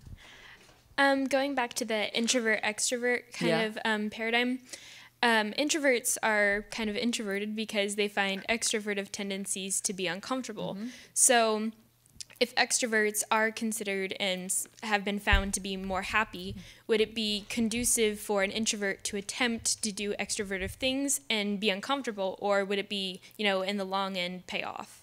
Yeah, I mean, I, I feel like you almost answered your question yourself because I think, I mean, I think my, my intuition is no, right? That it's gonna, if you're an introvert, it's gonna, yeah, it's gonna make you uncomfortable and it's not going to make you happier to kind of become an extrovert. Um, there are some exceptions, and I will kind of to get personal here. I used to be patholo- kind of introverted and sort of pathologically shy when I was little. Uh, my parents tell me that I basically did not speak to adults outside the family until age like 11. Um, and I just got out of it. Like I just, with a kind of force of will and effort, I decided to become an extrovert. Um, but I think that's pretty rare. I've met other people who tell me they've done the same thing. Um, but I think it's yeah pretty rare. Most people, you know, that's their personality, and it you know, and I talk about the importance of fit, right? If if being like around a lot of people all the time, if that just doesn't fit your personality, that's not going to be good. So um, there's so many other ways to become happier that I, I don't think there's a need for introverts to turn into extroverts will be our last question. Maybe that. Thank you. These have been amazing questions. Really, really great questions. And you've been anticipating like whole fields of research that either exist or don't exist. Yeah. Okay, last question. Hi there. Uh, Hi. First of all, thank you very much for coming. It's been a privilege listening to you. you. Um, so I'm really interested, and I don't know. Um, I I keep on seeing things online about the effects of social media on happiness Right. and just how people um, there's like active use of social media and passive use, and people kind of it all seems to be kind of conjecture to me. But I was curious as to um, what kind of research and studies you had seen as to the effects of um, social media on happiness. Thank you. It's such a great question, and it is really confusing because there's such so many mixed results. So I don't really have a bottom line. I can tell you about some of the findings. So if you have an unusual interest or condition like illness, or maybe you're a parent of a disabled child, like finding those communities online with social media has been amazing for people like that. If you're shy, so I have a daughter clearly inherited from me who's very shy. You know, I think for shy kids, being on social media actually can be great. Um, on the other hand, there's some like recent research that showed that, for example, people feel more depressed after going on Facebook because they and I, the idea is that like people kind of boast and they always talk about all the positive things that are happening to them. You know, we don't we don't post like pictures of ourselves yelling at our kids, right? Um, I kind of dare anyone to do that. Um, but anyway, so yeah, there's like these mixed effects. And then on the other hand, more social, more kind of well-adjusted, extroverted people are actually on social media, but that's probably just a correlation that if you're kind of, if you have a lot of friends off of the media, you're more likely to use it. So there's just such mixed findings, and I, I don't really have an answer because I think it clearly it sort of depends how you use it, and and using anything too much, everything is in moderation, right? Didn't is it, did Aristotle also talk about the golden mean? So everything in moderation, including you know technology. So thank you. That's a great way to end. Yeah. Two years. After two years, you're back to the baseline. Now, of, course, there's a lot of variation. Some people get happier and they stay happier. That's actually, those are the people I'm really interested in, talking to them, like what is it that they're doing differently. Um, some people actually get unhappy after they get married. So this is a, an average. So kind of again, the take home points is, from the from this research on myths is that there's no really there's no magic formula for happiness and there's no sure course toward misery. And then we have to understand that life's turning points um, do not have to become major crises. So um, uh, yeah so like when you get married when you get divorced um, maybe you make more money you lose money um, uh, they're, they're not necessarily kind of times where you're suddenly going to become a lot happier or a lot less happy forever um, and being less excited with your marriage or with your new house or with your new gadget um, is not a cause of concern. Um, sometimes people, and we all, we all know people who like constantly change jobs, right? They're like, they're, they, they get, they're in a new job, they're excited, then they're kind of bored. Oh, let me get another job. And then they keep moving. And same thing for relationships, right? Or, or cars. I read somewhere, I think it was, like the average American owns a car for something like two years, something ridiculous like that. And people, of course, like to lease cars because they can, get new ones.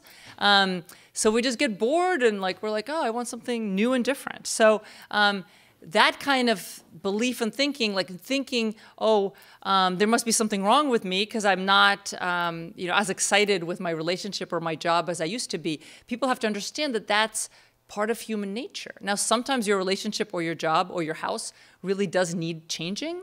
Um, but often that's not the case. We're just, we're just undergoing this very natural process of hedonic. So remember that hedonic adaptation. Remember that and recognize it when you see it happening to yourself. Um, now, how do we um, how do we kind of keep that excitement alive? How do we not adapt to our new marriage or a new job or a new car? Um, well, it's hard to do, um, but there are, and I talk about in the in my book about sort of how to use variety and novelty and surprise and appreciation to try to not adapt. So appreciation is pretty obvious. You move into a new home and you really try to, or you get a new car, and you try to appreciate that home or car to really to really think about like not take it for granted that's a that takes effort um, variety, novelty, surprise, if we open ourselves up to challenges, opportunities, growth experiences, meeting new people, um, we're less likely to adapt, right? So a relationship where you kind of do the same thing every Friday, Saturday night, you're going to adapt to it. But a relationship that kind of keeps you growing, maybe together you you take up new hobbies, you meet new people, um, that can prevent you from adapting. So those are sort of some of the strategies people can use. Okay. Um, okay, now what about children? Um, so you heard I have this article about in, called "In Defense of Parenthood." Okay, this is what happens. By the way, this is a picture of one of my. I have four kids, um, and I, but although I started doing this research when I had two, um, picture of one of mine like five minutes after birth. Um, so what happens after the birth of a child? So you see negative one year, negative one. Already people are happier. Now they're not pregnant yet, right? Because these are actually both true for both men and women. But you know, maybe you're in a new relate, maybe you're married and you're you know anticipating having a child, um, and then the happiness kind of drops and then recovers. Now, what is happening? I kind of like to ask this: What is happening at year two, three, that you think is making happiness drop for most people? What? Exhaustion. I know, but why not year one? Right? Isn't isn't a a newborn or child is running. number number two. Oh, terrible twos. Terrible twos. No, well, I don't think that's what it is. I think it's number two, right? So people are having another child when they're two, when the first one is two or three, and I think that really puts them over the edge. Um, now, I've, I, my, my students and I have been doing research on sort of parenting and happiness, and we find that the, the question of like, are parents happier uh, than people who don't have kids is actually not the right question to ask because there's all kinds of parents and there are all kinds of non-parents. So uh, what we have found, we have a paper on this, is that parents are happier than they're child-free, and I've learned to say not childless, but child-free, right? Childless is polit politically incorrect. Um, parents are happier than non-parents if they're middle-aged or old, Okay, so if you're a, okay, those of you contemplating parenthood in college, college students who are parents are much less happy than their peers who don't have kids. Um, now, of course, people who are older also have older kids, so that that has uh, that has an influence. So if you have kids who are either in middle childhood or grown, you tend to be happier than people your age who uh, who don't have kids. Um, the, the data on marital satisfaction shows that the happiest time in a marriage is when the kids are, are gone, when, they, when they have flown the nest, okay? That's called the empty nest. So those of you, the students here, um, you have caused your, you have improved your parents' marriages. Uh, if you've actually, of course, left the house, I don't know if everyone here has left the house. Um, the second happiest time is if you have is during the honeymoon period of the marriage, right? So that's before kids. The the least happy time, what do you, when do you think it is? Teenagers. Yeah. That's exactly right. The least happy time is teenagers. The second least is when you have at least one child under 5. So I have two teenagers, 13 and 15, and two children under five. but we're, we're, doing, we're doing okay. We're doing good, yeah. Um, okay, so if you're married, also, as opposed to a single parent, you you tend to be happier. If you're a father, sorry to say, fathers are a lot happier than men without children. Mothers with children are about the same in happiness as mothers without children. If your children live with you, if they're biological or adopted, having stepkids is not associated with bigger, more happiness.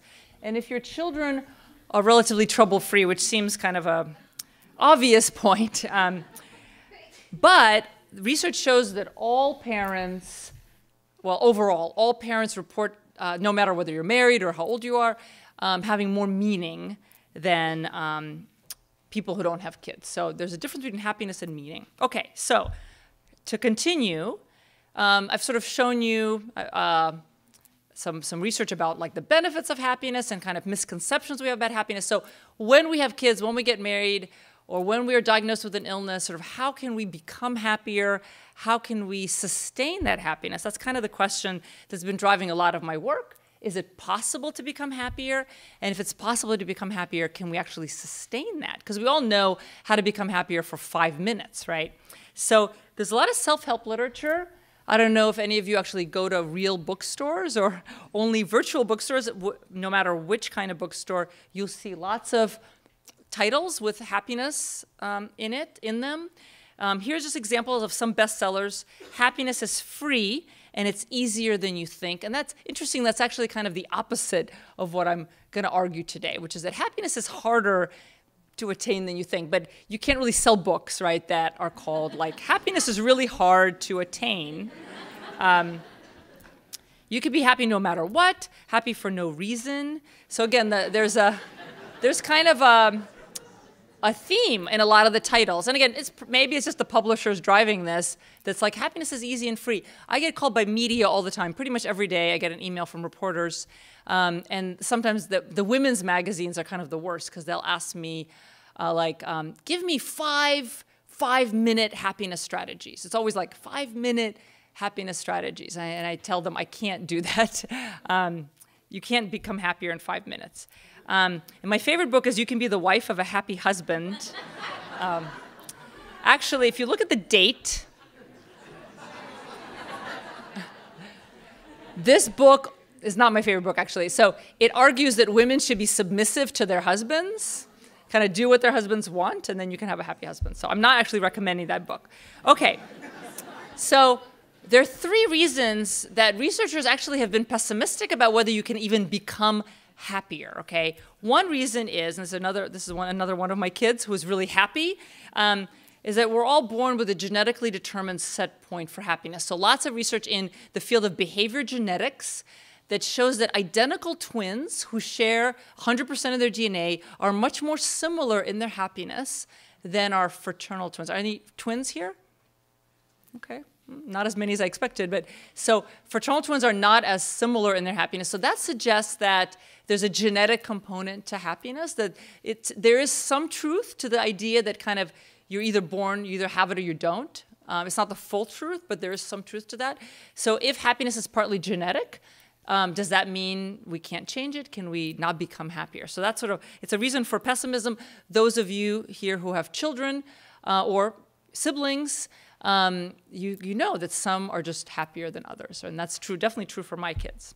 Um, happiness is part of our personality. It's a lifelong trait. And those of you who've taken personality psychology know that your that personality is pretty stable across the life term. Uh, you can change personality. It used to be thought that you can't change someone's personality after age 30, and that's actually not true. There's actually an article that was literally called "You Can Change Someone's Personality After Age 30." But rank, there's there's really high rank order stability in personality. Okay, so think about your high school class. The kids who are the most extroverted in your high school class are probably 10, 20, 30 years later, probably still kind of in that upper you know quartile of extroversion. And, and that the same thing goes for happiness. So if happiness is a lifelong trait it's part of our personality then how can we really change it? And then there's hedonic adaptation which we've already talked about So if we adapt to almost every good thing that ever happens to us, then how can we become happier? So those are the sort of the reasons to be pessimistic.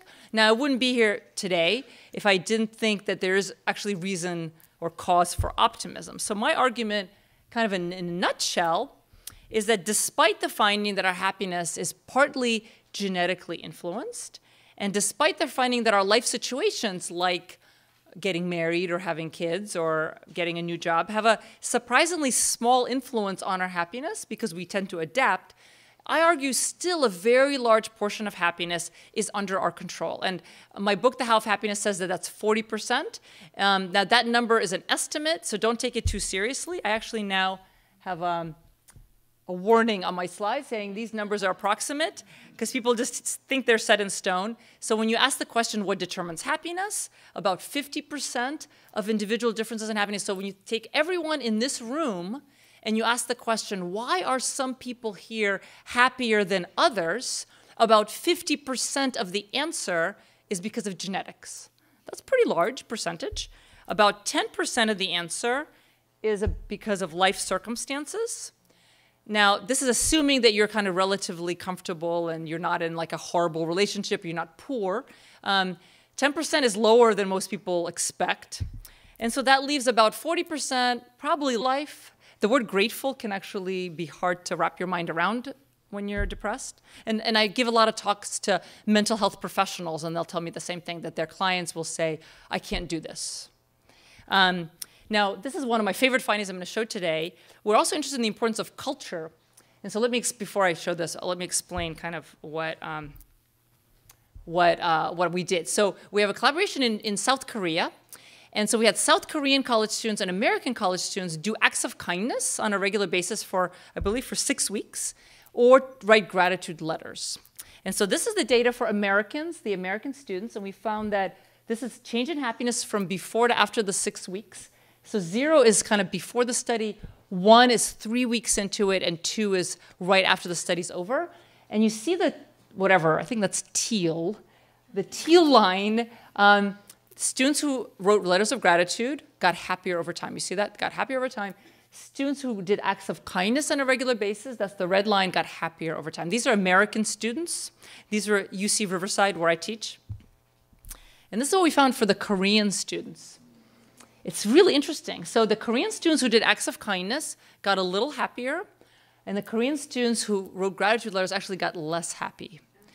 And so we've been very interested in this finding. We've talked to a lot of people from Korea and our collaborators who, who say that, you know, gratitude is kind of a mixed emotional experience in Korea, that there's sort of this expectation of reciprocation when you express gratitude. And sometimes it can even be insulting, like you're not supposed to thank your parents it's almost insulting like well of course i did this to you for you. I'm your parent. So we just finished a study in um, france uh, at different companies in france and we found that writing gratitude letters for these french participants it made them feel happier and more uplifted and more inspired but it also made them feel indebted and embarrassed and guilty.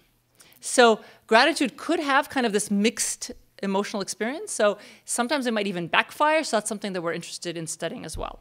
Okay, so very quickly, what's next? Um, we're looking at how positive activities work. Um, does age matter? We've looked, we've done studies with teenagers and with kids. We were actually really worried that teenagers would not like want to write gratitude letters. Some of you are teenagers, and actually they loved it. They said they recognized that they weren't grateful enough. Uh, we, we just finished a study with um, teenagers in the UK, 16 year olds. Um, and we're looking at, these were twins, so we're looking at kind of possible genetic influences on who benefits from a happiness activity and who doesn't. Uh, we, we don't have the full data yet. Um, oh, in terms of age, I also want to add that it turns out that older people are happier than younger people. Um, and by older, I mean like 40s, 50s, 60s into 70s. Um, and it, it, turns out that they're emotionally wiser. It's kind of like older people know what makes them happy, and that's what they do. They know certain people make them happy, and that's who they spend time with. Um, and so, um, and that's an interesting finding in itself. In itself, we're also interested in measuring behavior. So we've done studies where we have people wear these badges, and the badges have an accelerometer in them, just like your gadgets might. So it measures physical activity, and they also send and receive infrared signals. So if you're all wearing badges, I can see who's talking to who. like who interacts more. So we did the study, this again, this is one of the titles that you heard about today from Professor Rouse. So we did a study in a Japanese company where we asked them to write down three things that went well at work. And you can translate this to school also. You can also all try to do this. Three things that went well at work or school. That was the experimental group. And the control group wrote about three tasks that they accomplished. People who wrote down three things that went well at work got happier, more connected with others, and they moved more. It looks like they had more energy uh, at work. And they left work early, which we think is a good thing because at this Japanese company, most people worked until like 11 or 12 at night. Um, so anyway, so that's kind of interesting. So I would sort of leave that for you that, uh, that, that kind of practice every week, thinking about what went well at school or work. Um, and I'm going to uh, end with a quote from Aristotle, who 2,000 years ago kind of spoke, basically described the gist of my research, which is that happiness depends upon ourselves. Thank you. If you have a question for our speaker, please raise your hand. We'll give you the microphone and we'll begin. Thank you. Um, I wanted to follow up on the depression. Strange. Um, you mentioned that at least the example you gave when speaking of people who were depressed, mm-hmm. that the experiment didn't really work for them. Are there experiments that do? Yes. So um, there's not a lot. Uh, so that there's more research that needs to be done. Um, so Marty Seligman, who's at Penn, um, did a study with severely depressed people where we asked them every day to write down three good things. So that's kind of where, I, where, where my suggestion comes from, that to make it like very simple and they um, had a pretty incredible response to that. So I just think using the word gratitude makes it, I don't know, just makes it harder to, for depressed people to, um, again, to kind of wrap their minds around it. So um, I, don't really know of a lot of studies with depressed people like with doing other kinds of positive activities. So it's just, there's more that needs to be done. But, um, but again, I think um, starting kind of simple. You know, I do a lot of studies where I haven't really discussed them, but where I ask people to do acts of kindness. And so, yeah, if you're like really depressed, you're not going to go out and like, you know, meet people and, and do nice things for them. But maybe you might do acts of kindness that are from your using your computer or, you know, some, some simpler way. So, um, yeah, you just have to kind of tailor the strategy to the individual. Thank you. Yes? So right here. Oh. Well, you know? Why, why, don't you go first since you have the mic, and then you'll be next. Yeah, go ahead. Okay. Um, hi. Hi. Um, I was just um, really struck by the fact that you can get used to um, positive things in your life. Yeah. And so I was wondering if there were any studies done that measured like the long-term effect of like the gratitude, the acts of gratitude, or doing random acts of kindness, because based off the adaptive, the your ability to adapt, then like mm-hmm. it would seem like those things would wear off too. Yeah, that's an excellent question, right? So we get used to like new gadgets and new life circumstances, but we also can get used to new activities, right? So new practices, although the adaptation is slower, right? And part because there is more kind of variety and novelty. So if you're going around doing acts of kindness, you might meet new people, right? There's sort of some surprises. So you're not going to adapt as fast and actually, um, I find that depending on the study, like six, nine, 12 months is when people tend to adapt. Um, and so what we do is we tell people to try to kind of vary what they do. Maybe very like like in the iPhone app where we have eight different strategies, so you don't do the same thing. You might switch to another uh, activity or practice. Um, but absolutely, there people do adapt to activities. Here you go. Oh. Do you pass this down? When you were talking about the parenting and you said the difference with um, happiness and meaningfulness, mm-hmm. I was wondering if you could talk about the measurements for meaningfulness because there would be empathy or spiritual development in that. Mm-hmm. So sure, sure. Curious. And I, you know, it's just such a short talk, I didn't go into kind of even definitions of happiness and meaning. Um, so happiness is defined as having two components: the sense that your life is good, that you're satisfied with your life, that you're progressing towards your life goals, but also positive emotions, right? Experiencing curiosity, pride affection, uh, joy, etc. Um, and so you kind of need both of those for happiness. Now, meaning is, is actually, I'm not a meaning researcher. I'm not sure if I, I can give a good definition of meaning, but in terms of measurement, we've used um, measures that are just kind of ask people like how much meaning do you have in your life like i, I feel like my life has meaning or I, I think my life is meaningless uh, reverse coded so these are self-report measures so yeah they i think empathy and spirituality would play a role in that but it's not part of the measure. You know i think it's a, cor- a correlate. So people who are for example more religious and spiritual report more meaning. Um, and so like the studies with parents um, some studies uh, measure both, you know, either usually either happiness or meaning, um, and then they find, you know, that pretty much in, in, most studies, on average, people who have kids report more meaning, uh, but they don't necessarily always report more happiness. Um, the reason I ask because the Astin research out of UCLA shows that um, empathy is one of the five distinguishing features when you have spiritual development. So that's why I was asking more about empathy especially relating to parenting. Yeah, yeah, of course. That's such an interesting question. I just don't know any research on empathy and parenting. I guess that's a great, uh, maybe there is in another field, but not in my field. So that's a great opening for future researchers. Thank you. Yeah, hi. I was wondering if you found a correlation between friendship and happiness, and like if someone had a friendship with their family, or would that make them more happy, or how many friends they had? So, uh, and I haven't done this research myself, but yeah, there's a, a, very strong correlation between happiness and friendship, both the number of friends and the quality of friendships and the quality of support. Um, I don't know of any studies that actually experimentally test this, like the activity would be okay, try to make a new friend or try to enhance your friendships. And that would be a great, again, the great study to do. I would be shocked if it didn't work, you know.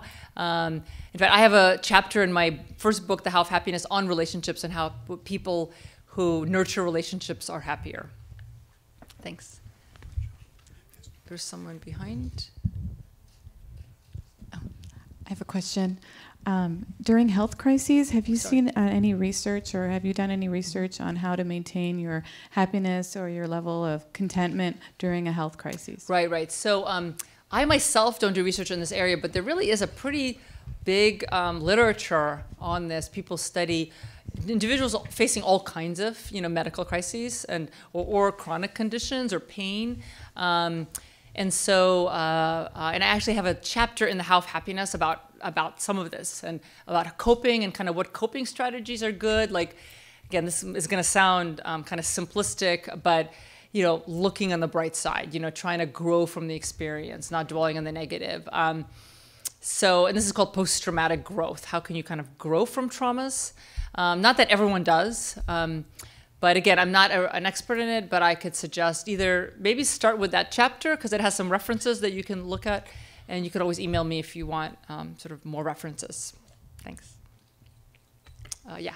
Hi. Um, first, I just wanted to say thank you so much. I really look forward to reading both of your books. Um, second, as someone who has close friends who has family with a history of substance abuse. Mm-hmm. I was wondering if you have studied um, graphs like you have with cancer and widowhood, mm-hmm. et cetera, um, that show a growth in happiness after people give up alcohol or smoking or drugs, and um, what happens after that point at zero. Yeah, wow. Um, yeah, I don't know any research on that. I, that would be so interesting to look at. Um, I do have a colleague actually who studies alcoholism, and he studies former alcoholics. So people who used to be alcoholic and they are no longer, well, I mean, I guess they consider themselves lifelong alcoholic, but they don't use.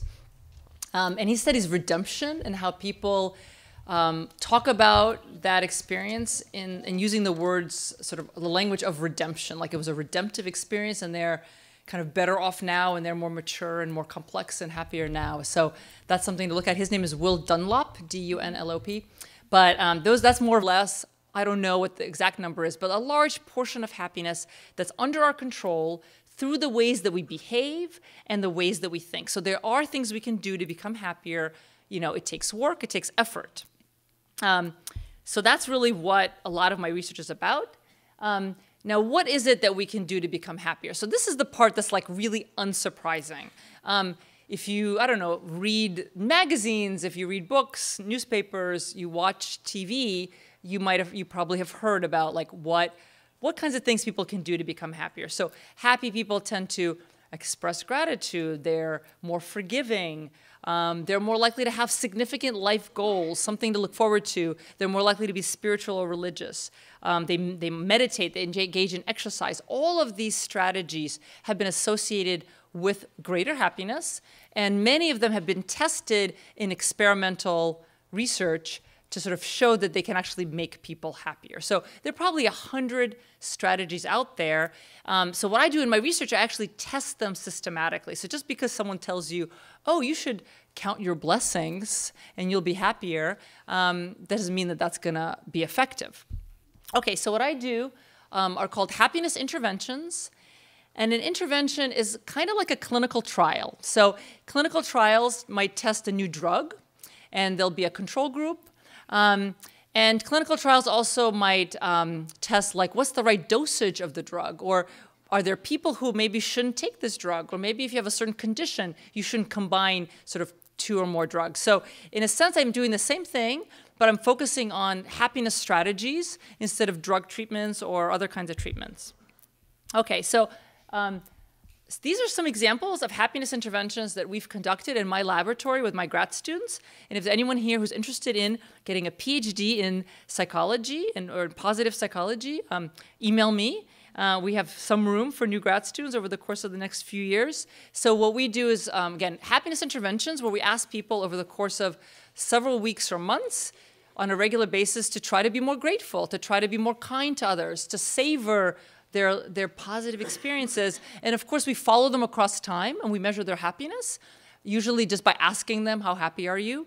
Um, and we also always have a control group, some kind of neutral group that we can compare the experimental group to.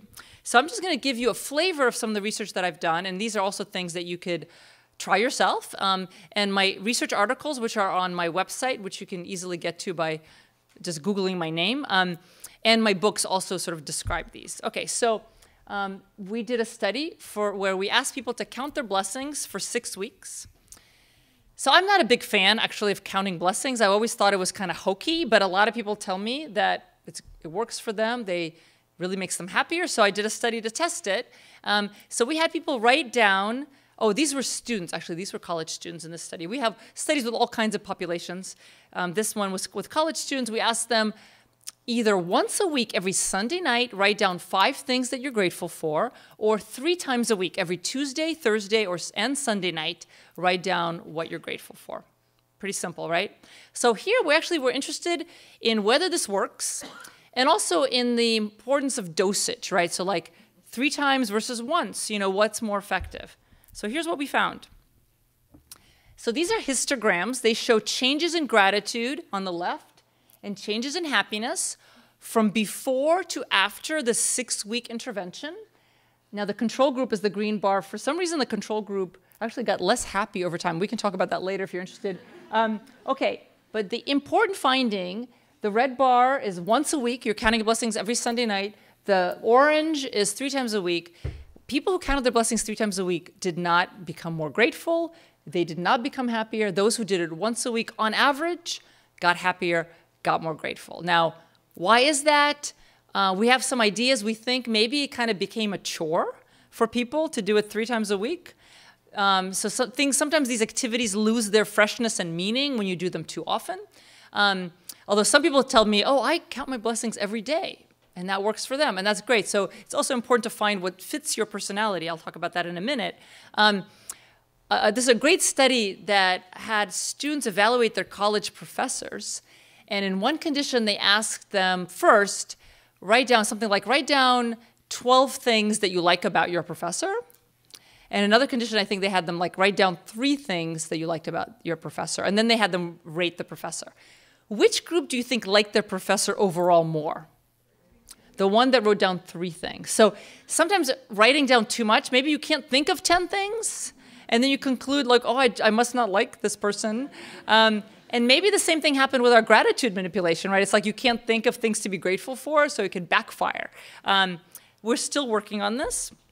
Okay, so I want to talk about the importance of fit because a lot of people do come to me and say, oh, I hate counting my blessings. Uh, I have a colleague who would never ever do such a thing, but he discovered that writing emails, sort of gratitude kind of emails, to important people in his life, like mentors, teachers, coaches, parents, was very meaningful to him. So I got interested in the importance of fit, that you have to kind of choose what practice and what strategy fits your personality, kind of fits your goals, fits your strengths. and fits maybe the source of your unhappiness, whatever it is that's making you unhappy. Um, I have, there's an iPhone application based on my research. It's actually now not being supported too well. It's like, it costs 99 cents. Um, it's called Live Happy. I don't make any money off of it. I use it for research, so I'm going to show you some data from it. Uh, we're now working on Live Happy 2.0 so those of you who like couldn't got too adapted to your gadgets and have gotten now the new like iphone 6 or whatever then um, you need, you'll need to wait for uh, live happy 2.0 so this in this particular iphone app um, we have eight different strategies that people can use um, with their, using their phones um, and so for example gratitude journal on the upper left hand corner you can write emails or texts or um, uh, call someone on your contacts list and thank them for something. One of my favorites is the Savoring album on the lower left-hand corner, um, where you can pull up a photo from your photo album and write about, or take a photo of, of someone you love or a place you find beautiful and write about it, kind of savor it. So the idea is that you use your phone to engage in these different happiness strategies because we thought, well, people have their phones all the time, so it'd be easy to do this. Um, but we also are collecting data, so we ask people how happy they are before and after, sort of throughout their experience, and we ask them about fit. How much do, are you enjoying doing this? How natural does it feel for you to do this? And this is what we found. Um, these are the eight activities, um, and this is sort of the average fit for our users. Interestingly, the gratitude journal was pretty low in fit on average, but actually it doesn't really matter what the fit is because it's going to differ for different people. What matters is the, sorry, if you, I don't know if you can see this, the higher the fit with a particular activity, the more likely users tried that activity and the more likely that they benefited from it by actually becoming happier. So maybe that's kind of obvious. Okay, so um, I want to tell you about another study fairly quickly that we did where we asked people to try to become more optimistic. Um, and the intervention we use is we ask people, um, and actually this study also was done with students. I've tried to pick up some studies with students. We asked students, imagine yourself in 10 years. We think 10 years is kind of a good amount of time.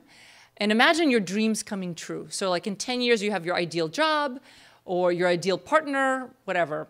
Um, and, and every week for, um, for eight weeks, they wrote about this for, in different domains in life, sort of career, health, romantic life, family life, okay?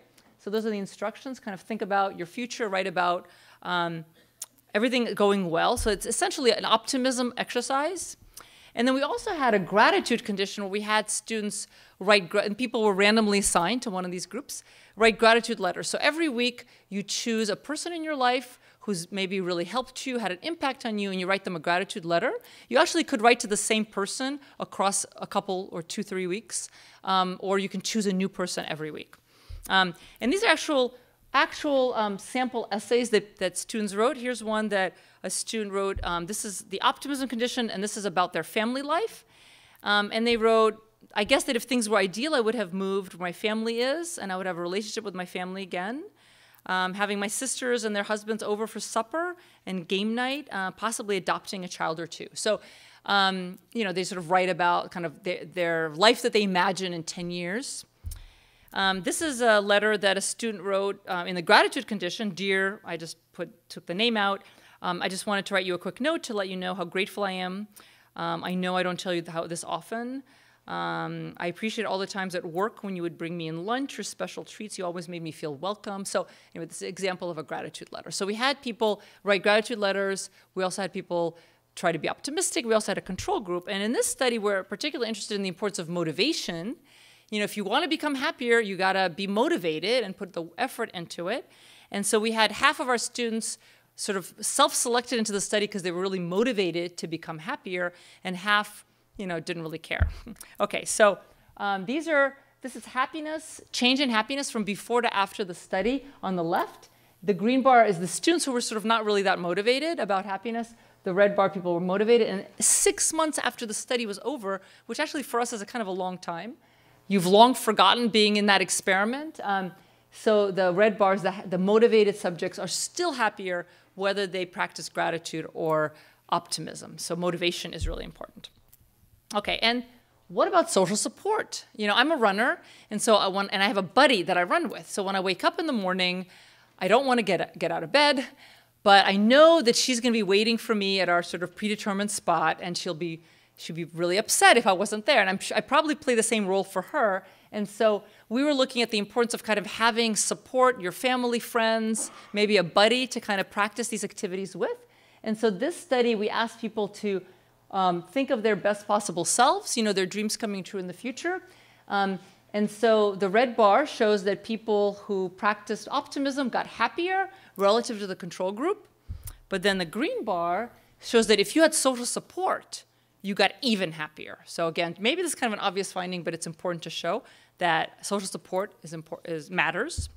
Um, another question that we're interested in is whether our um, happiness interventions might, might help people who are depressed.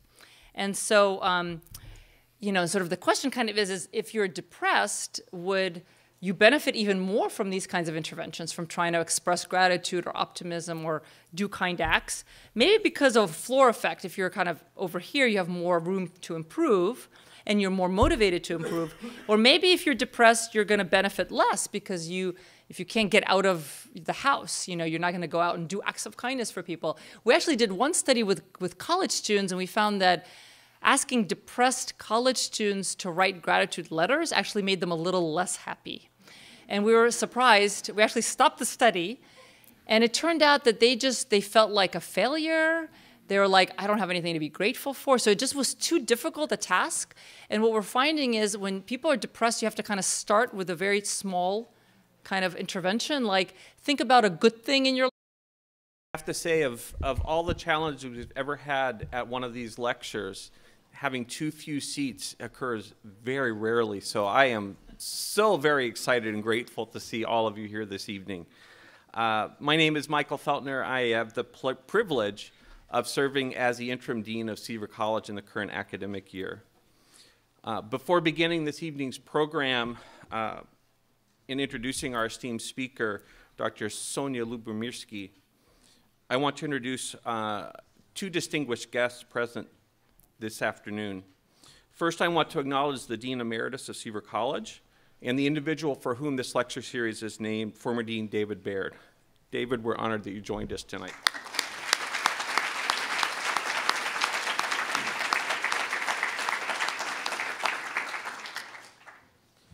Next, it's my sincere privilege to recognize Melanie Flaminio.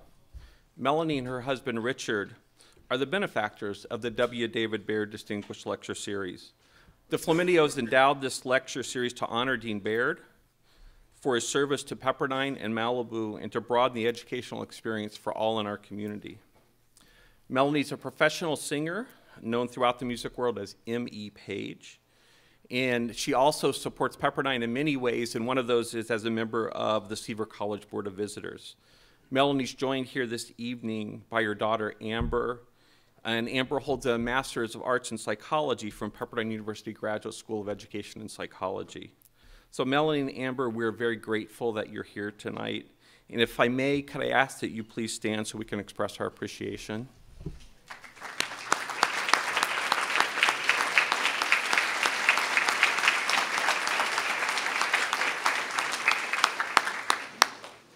Thank you very much. Uh, before we begin, a few words about our format for this evening. Uh, following her introduction, Dr. Lyubomirsky will speak for approximately 45 minutes, and she is committed to concluding her lecture by 6 p.m., if not earlier. And the reason I say that is um, I have a suspicion that a few of our guests this evening may have a 6 o'clock class. So we would ask that you please wait until the conclusion of the lecture before dismissing for your, for your 6 o'clock class. At the conclusion of the lecture, we'll have a very brief pause to allow you to depart and then we'll follow with a question and answer period. I encourage everyone who does not have a commitment at 6 p.m. to please remain with us for the Q&A.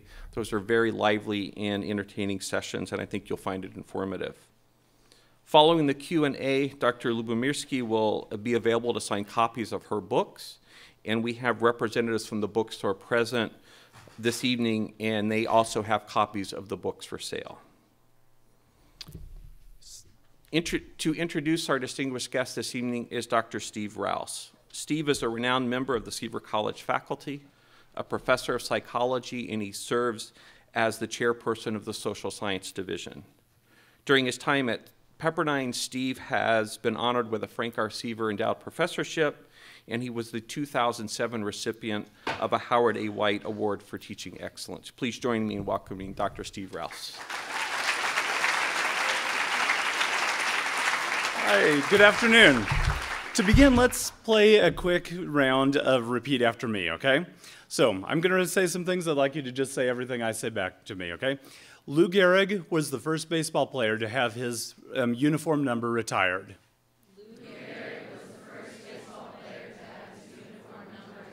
Good. Okay, Lou. Lou. Good. Okay. Tie your shoelace in a bow. Tie your shoelace In a bow. Good. Bow. Great. Simba's friend Timon was a meerkat. Simba's friend Timon was a meerkat. Mere? Mere. Great. Okay. It is better to ski than to snowboard. It is better to ski than to snowboard. Ski. Ski. Lou? Lou. Bow. Mere. Mere. Ski. Ski. Excellent, excellent. Great job. In the past few years, a lot of my students have been reading the research of tonight's lecturer, Dr. Sonja Lyubomirsky. You see, in one of my classes, Personality Psychology, my students are required to write a term paper not about a topic in personality, but instead about the research conducted by a contemporary personality researcher. I give my students a list of some of the most prolific and influential modern personality researchers and teach them how to conduct a search of the articles written by one particular person. Then I encourage them to simply pick a, a, few names at random and read the titles and abstracts of their work and find someone whose research captures their interest. Well, in the past few years, a lot of my students have opted to write about Dr. Lyubomirsky's research. But can you blame them? I mean, imagine that you come across a person who's written articles with titles like Recalling positive events at work make employees feel happier, move more, but interact less. Um, then another one, I like this one. In defense of parenthood, children are associated with more joy than misery. and then another one, is it possible to become happier? And if so, how? Who wouldn't want to know more about topics like this? Well, in welcoming Dr. Lyubomirsky to the podium, I could talk more in depth about the 55 peer-reviewed journal articles that she's published, each one exemplifying a methodologically strong research. Or I could talk about her 13 chapters in scholarly edited books, or her New York Times best-selling popular books, or I could even play for you the rap that was written to summarize her research. But instead, I'd like to, um, to end my comments by reading to you a comment that was written to me by one of my students who wrote a term paper about, Lyubomir, about Dr. Lyubomirsky's research this past, re this past semester. Sorry. The student wrote, her research has affected me in a positive way I never expected. After studying her research, I am more mindful, grateful, kind, curious, and accepting. What better way to commence this year's Dean's Lecture Series than to hear from a researcher who can make a term paper a life-changing experience? Please join me in welcoming Dr. Sonja Lyubomirsky. Thank you so much. Thank you so much. It's so wonderful to be here, to be invited, to be part of this very um, eminent lecture series. Okay, I just want to make sure that I start my PowerPoint. Um, by the way, I, am sure you know you're, you have one of the most beautiful campuses in the entire world. It's really great to be here. Um, I live in Santa Monica, so not too far away. Always uh, happy to, to come here. Um, so I'm going to be talking about my research on happiness, and as you can see, I also provide a little mnemonic here, which you don't need, about how to pronounce my name. Uh, my name means love and peace in Russian. Um, I come from Russia, um, so I think it's kind of appropriate for someone who studies happiness. So I'm going to be talking about um, my research on happiness. These are my wonderful collaborators. Um, and I'll be referring to a couple of my books today, The How of Happiness and The Myths of Happiness. Um, so during the Second World War, aviation experts spent a lot of energy and resources studying military planes that went down. And one day somebody asked, why don't we study the planes that stay up in the air? And I think that's a really apt metaphor for the research that I and my colleagues do. We study why happy people are happy, why healthy people are healthy, why successful people are successful. By the way, there are two seats right there, anyone who wants seats, and a couple others that I see towards the front. Um, so um, we'll be talking about happiness. How many people here uh, wouldn't mind being happier than you currently are? Okay, wow. Okay, and how many of you have friends, family, colleagues, parents who you would like to be happier? Okay, pretty much everyone. So um, I can't promise that I'm going to make you all happier, but I will arm you with a lot of information based on research. I believe that all of us want to be happier. We, we might define that word happiness differently, we might pursue it differently, but um, I would argue that almost everything we do in our lives, in a sense, is you know, aimed at, at becoming happier, sort of doing things that give us meaning and happiness. So researchers have actually asked the question of how important happiness is by going around the world and asking people, how important is happiness to you? I'm going to give you a sample of just a few countries uh, US, Greece, Germany, uh, South Africa, Ch China, and Argentina. I was just um, uh, giving talks in both Argentina and Germany about happiness, and so I put those up for them. Um, so, on a scale of one to seven, how happiness is, how important is happiness to you? Americans rated about a 6.6, so pretty high. That's not surprising. Some people think that Americans are kind of preoccupied with happiness, maybe even obsessed with happiness. It's embedded in our Declaration of Independence. Um, but what about other countries around the world? What do they think? So here's the data. For other countries, also you know, very high, very high importance placed on happiness. I should mention that there are some significant differences in this graph. So um, people in Germany and China actually rate the importance of happiness as, as lower than other countries, around a six. Um, but still, it's, it's you know, quite high. Um, so I would, again, I would argue that happiness is perhaps even a universal goal. Even in the country where I'm from, from Russia, I came here when I was 10 years old. Um, you know, people talk about the importance of suffering, right? So you have to suffer to build character. Uh, to gain salvation into the next life. Um, and of course, there's other cultures and religious traditions that kind of focus on suffering. But even in Russia, when you ask people, uh, what do you want most for your children? they'll say, I want my children to be happy. So I think it sort of depends on how you, how you ask the question. So, you know, many people, if not most people, want to be happy. Um, so is happiness a good thing? You know, some people think that happy people are selfish. They're kind of focused on themselves, right? It's all kind of about me, me, me. They're not very focused on others. That happiness is really about pleasure. So my colleagues and I tried to address this question. We did what's called a meta analysis, which is a study of studies. We looked at 225 studies that were done on happiness. Um, and what we found were that happy people um, were more successful, actually, in health, in relationships, and in work. So, for example, we found that happier people are more productive at work and more creative. Lots of studies show that um, if you measure happiness at work, the happiest, the happiest people today will be more productive, say, in three years happy people make more money and they have better jobs. So, of course, the causal direction goes both ways. Having money makes you happier, but also happy people are better at accruing more money. Um, happier people are better leaders and negotiators. Happier people have better relationships. They're more likely to marry, less likely to divorce. In one of my favorite studies, researchers looked at college yearbooks. They looked at the yearbooks from Mills College, you know, which is a women's college in uh, Northern California. Um, and they found that, and they coded the pictures in those yearbooks. So, okay, from now on, you're going to all take a look at your high school or college yearbook photos to see if the, the, these women show genuine happiness in their college yearbook photos. Okay, and it's something that you can't, it's called a Duchenne smile. You can't fake it. Very few people, unless you're a really good actor, can fake a Duchenne, sort of an authentic smile. Women who were who showed genuine happiness in their college yearbook photos at age 21 were more likely to be married by age 27 and had more satisfying marriages at age 52. It's kind of amazing. So there's something that carried through. Um, happier people have more social support. They say they have more friends. Happier people are also healthier. I'm going to talk about that in a second. They even live longer. Um, And, you know, contrary to this perception that happy people are more kind of ego centered or selfish, happy people are actually more other centered. They're more charitable, they give bigger tips. Um, if you know uh, individuals who are depressed, or if you yourself have been depressed, you know that depression is actually makes people kind of focus inward. And that's, you know, people say that that's adaptive, right? When you're sad or depressed, you need to focus on yourself to understand your problems. And so you can argue that when you're happy, you actually kind of have the luxury of focusing on others, right? You're not sort of so focused on your own problems.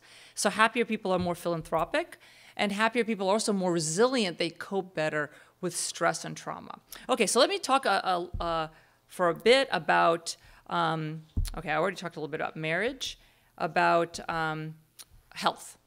Okay, so why do you think, maybe I'll throw this out, why do you think happier people are healthier? What's a, what's a reason? Don't be shy. Exercise. So they maybe exercise more. Maybe they have better health habits. Any other ideas? Mm, what? Better diet. They're exercising, they're getting the endorphins. So I think someone said less stress. Less stress. Okay, so lots of different different reasons. Um, well, researchers have explored these different reasons, and, and, it's true that happier people do have better health habits. Um, one thing they're interested in is, in is, in the immune system. Do happier people or having positive emotions frequently um, does that is that associated with having a stronger immune system or immune function? So for example let's say you know you all have flown on airplanes. Some people every time they fly they get sick right? There are sort of rhinoviruses cold viruses in the airplane. Some people never get sick or sometimes you get sick sometimes you don't. Maybe it has something to do with the strength of your immune system. So in one study which i call the cold virus study um, there's a picture of the cold virus. Lovely isn't it? Um, called the rhinovirus. In this study researchers found healthy volunteers.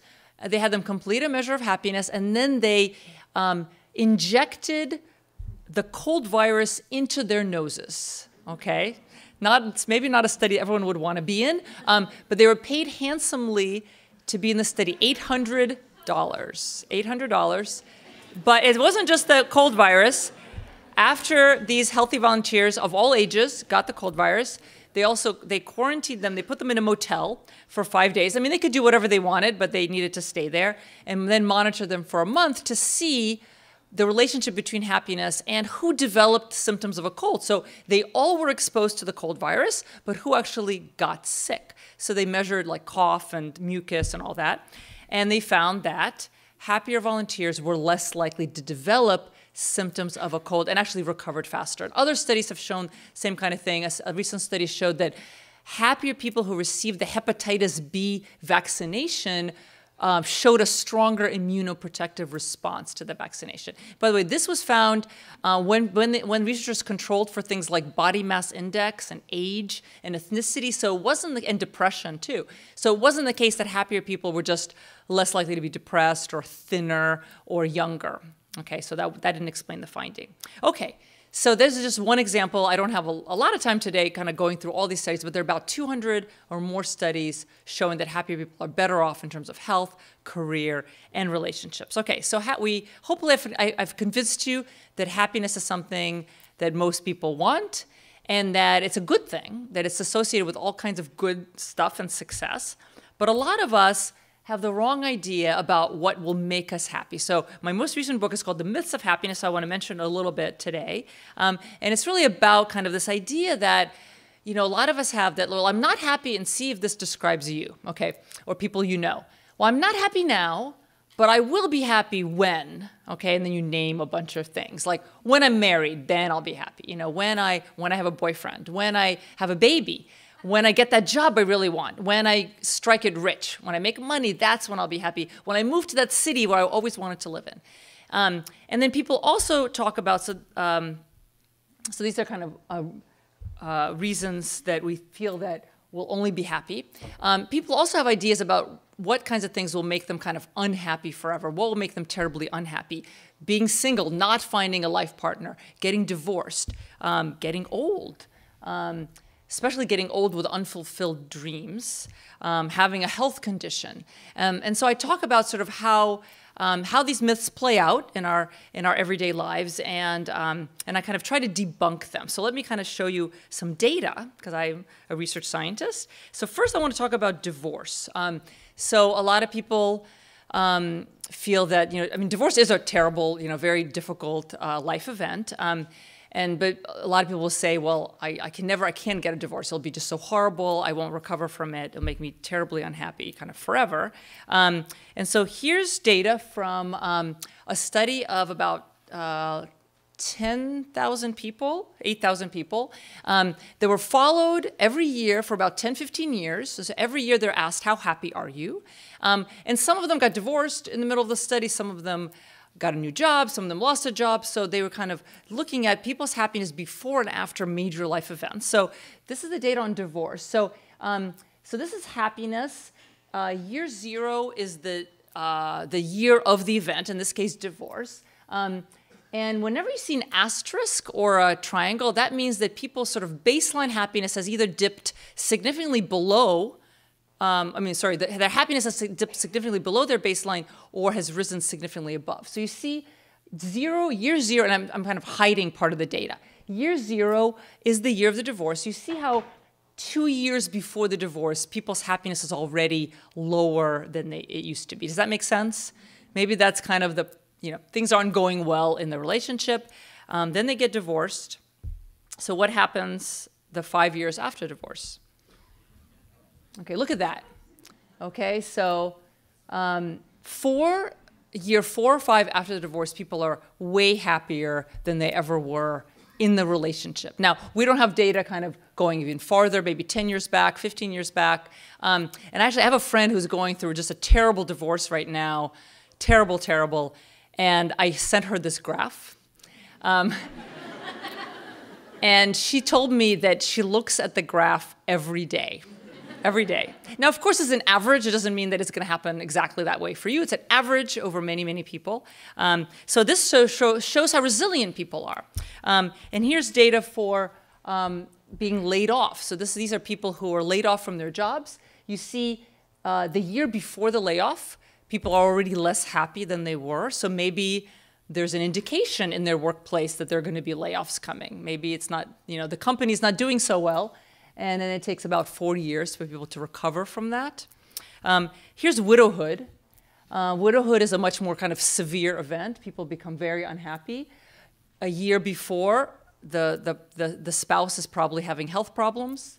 Um, and, then people, and then there's a, a rise in happiness. Um, it takes five years to kind of get back and get over um, the baseline. So that's widowhood. So the take home points, or the take home point is that people are remarkably resilient, that almost nothing is as misery inducing as we think it will be. So we think, like, oh, I'll be terribly unhappy if I get divorced, or even if I become widowed, or I don't make as much money as I thought I would if I get diagnosed with a um, uh, medical condition. Um, uh, studies show that people who are facing adversities actually report kind of a silver lining. In one of my favorite studies, women who have uh, breast cancer reported that um, sorry, two thirds of women with breast cancer reported that the cancer led to positive changes in their lives. Um, they said that it um, led them to kind of appreciate the preciousness of life. It was a sort of a wake up call. Um, they realized what their real priorities are. Maybe it's, it's family over versus work, or maybe it's that they really wanted to be a teacher or an artist. They realized who their true friends are.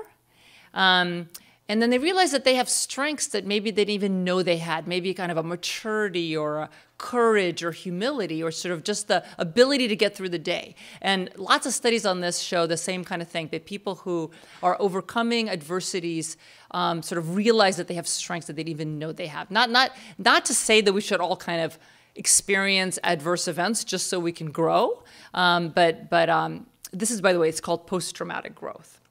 Okay, so. These are, um, so that's why I sort of call all of these myths. Now, I'm not saying that we should all get divorced or, uh, you know, not have kids. Um, we all are going to get old, so we don't have a choice about that. Um, but I think it's important to kind of look at the research. Um, And uh, because sometimes kind of a misunderstanding of what truly makes you happy or unhappy can lead you to make some poor decisions. And I'll say a little bit more about that. Okay, so um, what now this this kind of resilience that people have also has um, what I would call a dark side. So people, human beings, have the ability to get used to almost everything in their lives, whether it's illness or divorce or sort of downsizing, having less money than we want. But it turns out that we're also really good at getting used to the positive things as well. So I'm sure you've all discovered this. You get a new gadget or a new car, or you move to a nicer home, a nicer apartment. At first, you're really thrilled about it, and then you get used to it, right? And then you, you want even more. This is called hedonic adaptation. So, one example I like to use is uh, a number of years ago, I had LASIK. Anyone here has had LASIK? Um, you know, and I used to hate glasses and contact lenses, and I was almost blind. I couldn't, you know, see very well at all. And you know, this like two-minute procedure, and I had 20/20 vision. And you know how long it took me to adapt to that vision and sort of take it for granted? Two weeks. You know, two weeks after a lifetime of sort of near blindness. So, um, you know, human beings are just very good at getting used to good things. We get used to um, being a college student, being called a dad, being called a doctor.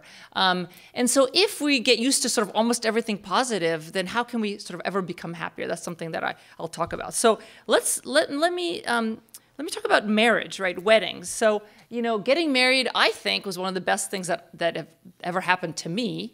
Um, but people adapt to even things like marriage. Okay, so here's the same data from the same study. By the way, all of these data are for females, but the data from males are almost identical. I just didn't want to show too much. Um, okay, so year zero is the year of the wedding. Um, you see negative one, a year before, people are already happier than their baseline. Does that make sense? Yeah, they're in a great relationship, maybe they're engaged. Um, so, what do you think happens after you get married? How long do you think the boost in happiness lasts? All right, shout it out. Two what? Two years? That's very pessimistic. Six months. All right, any, I'm just, I'm kidding though. What, any other guesses? Seven years? You know, you hear about the seven year itch, right? That must come from some research. Okay, the, the answer is two years.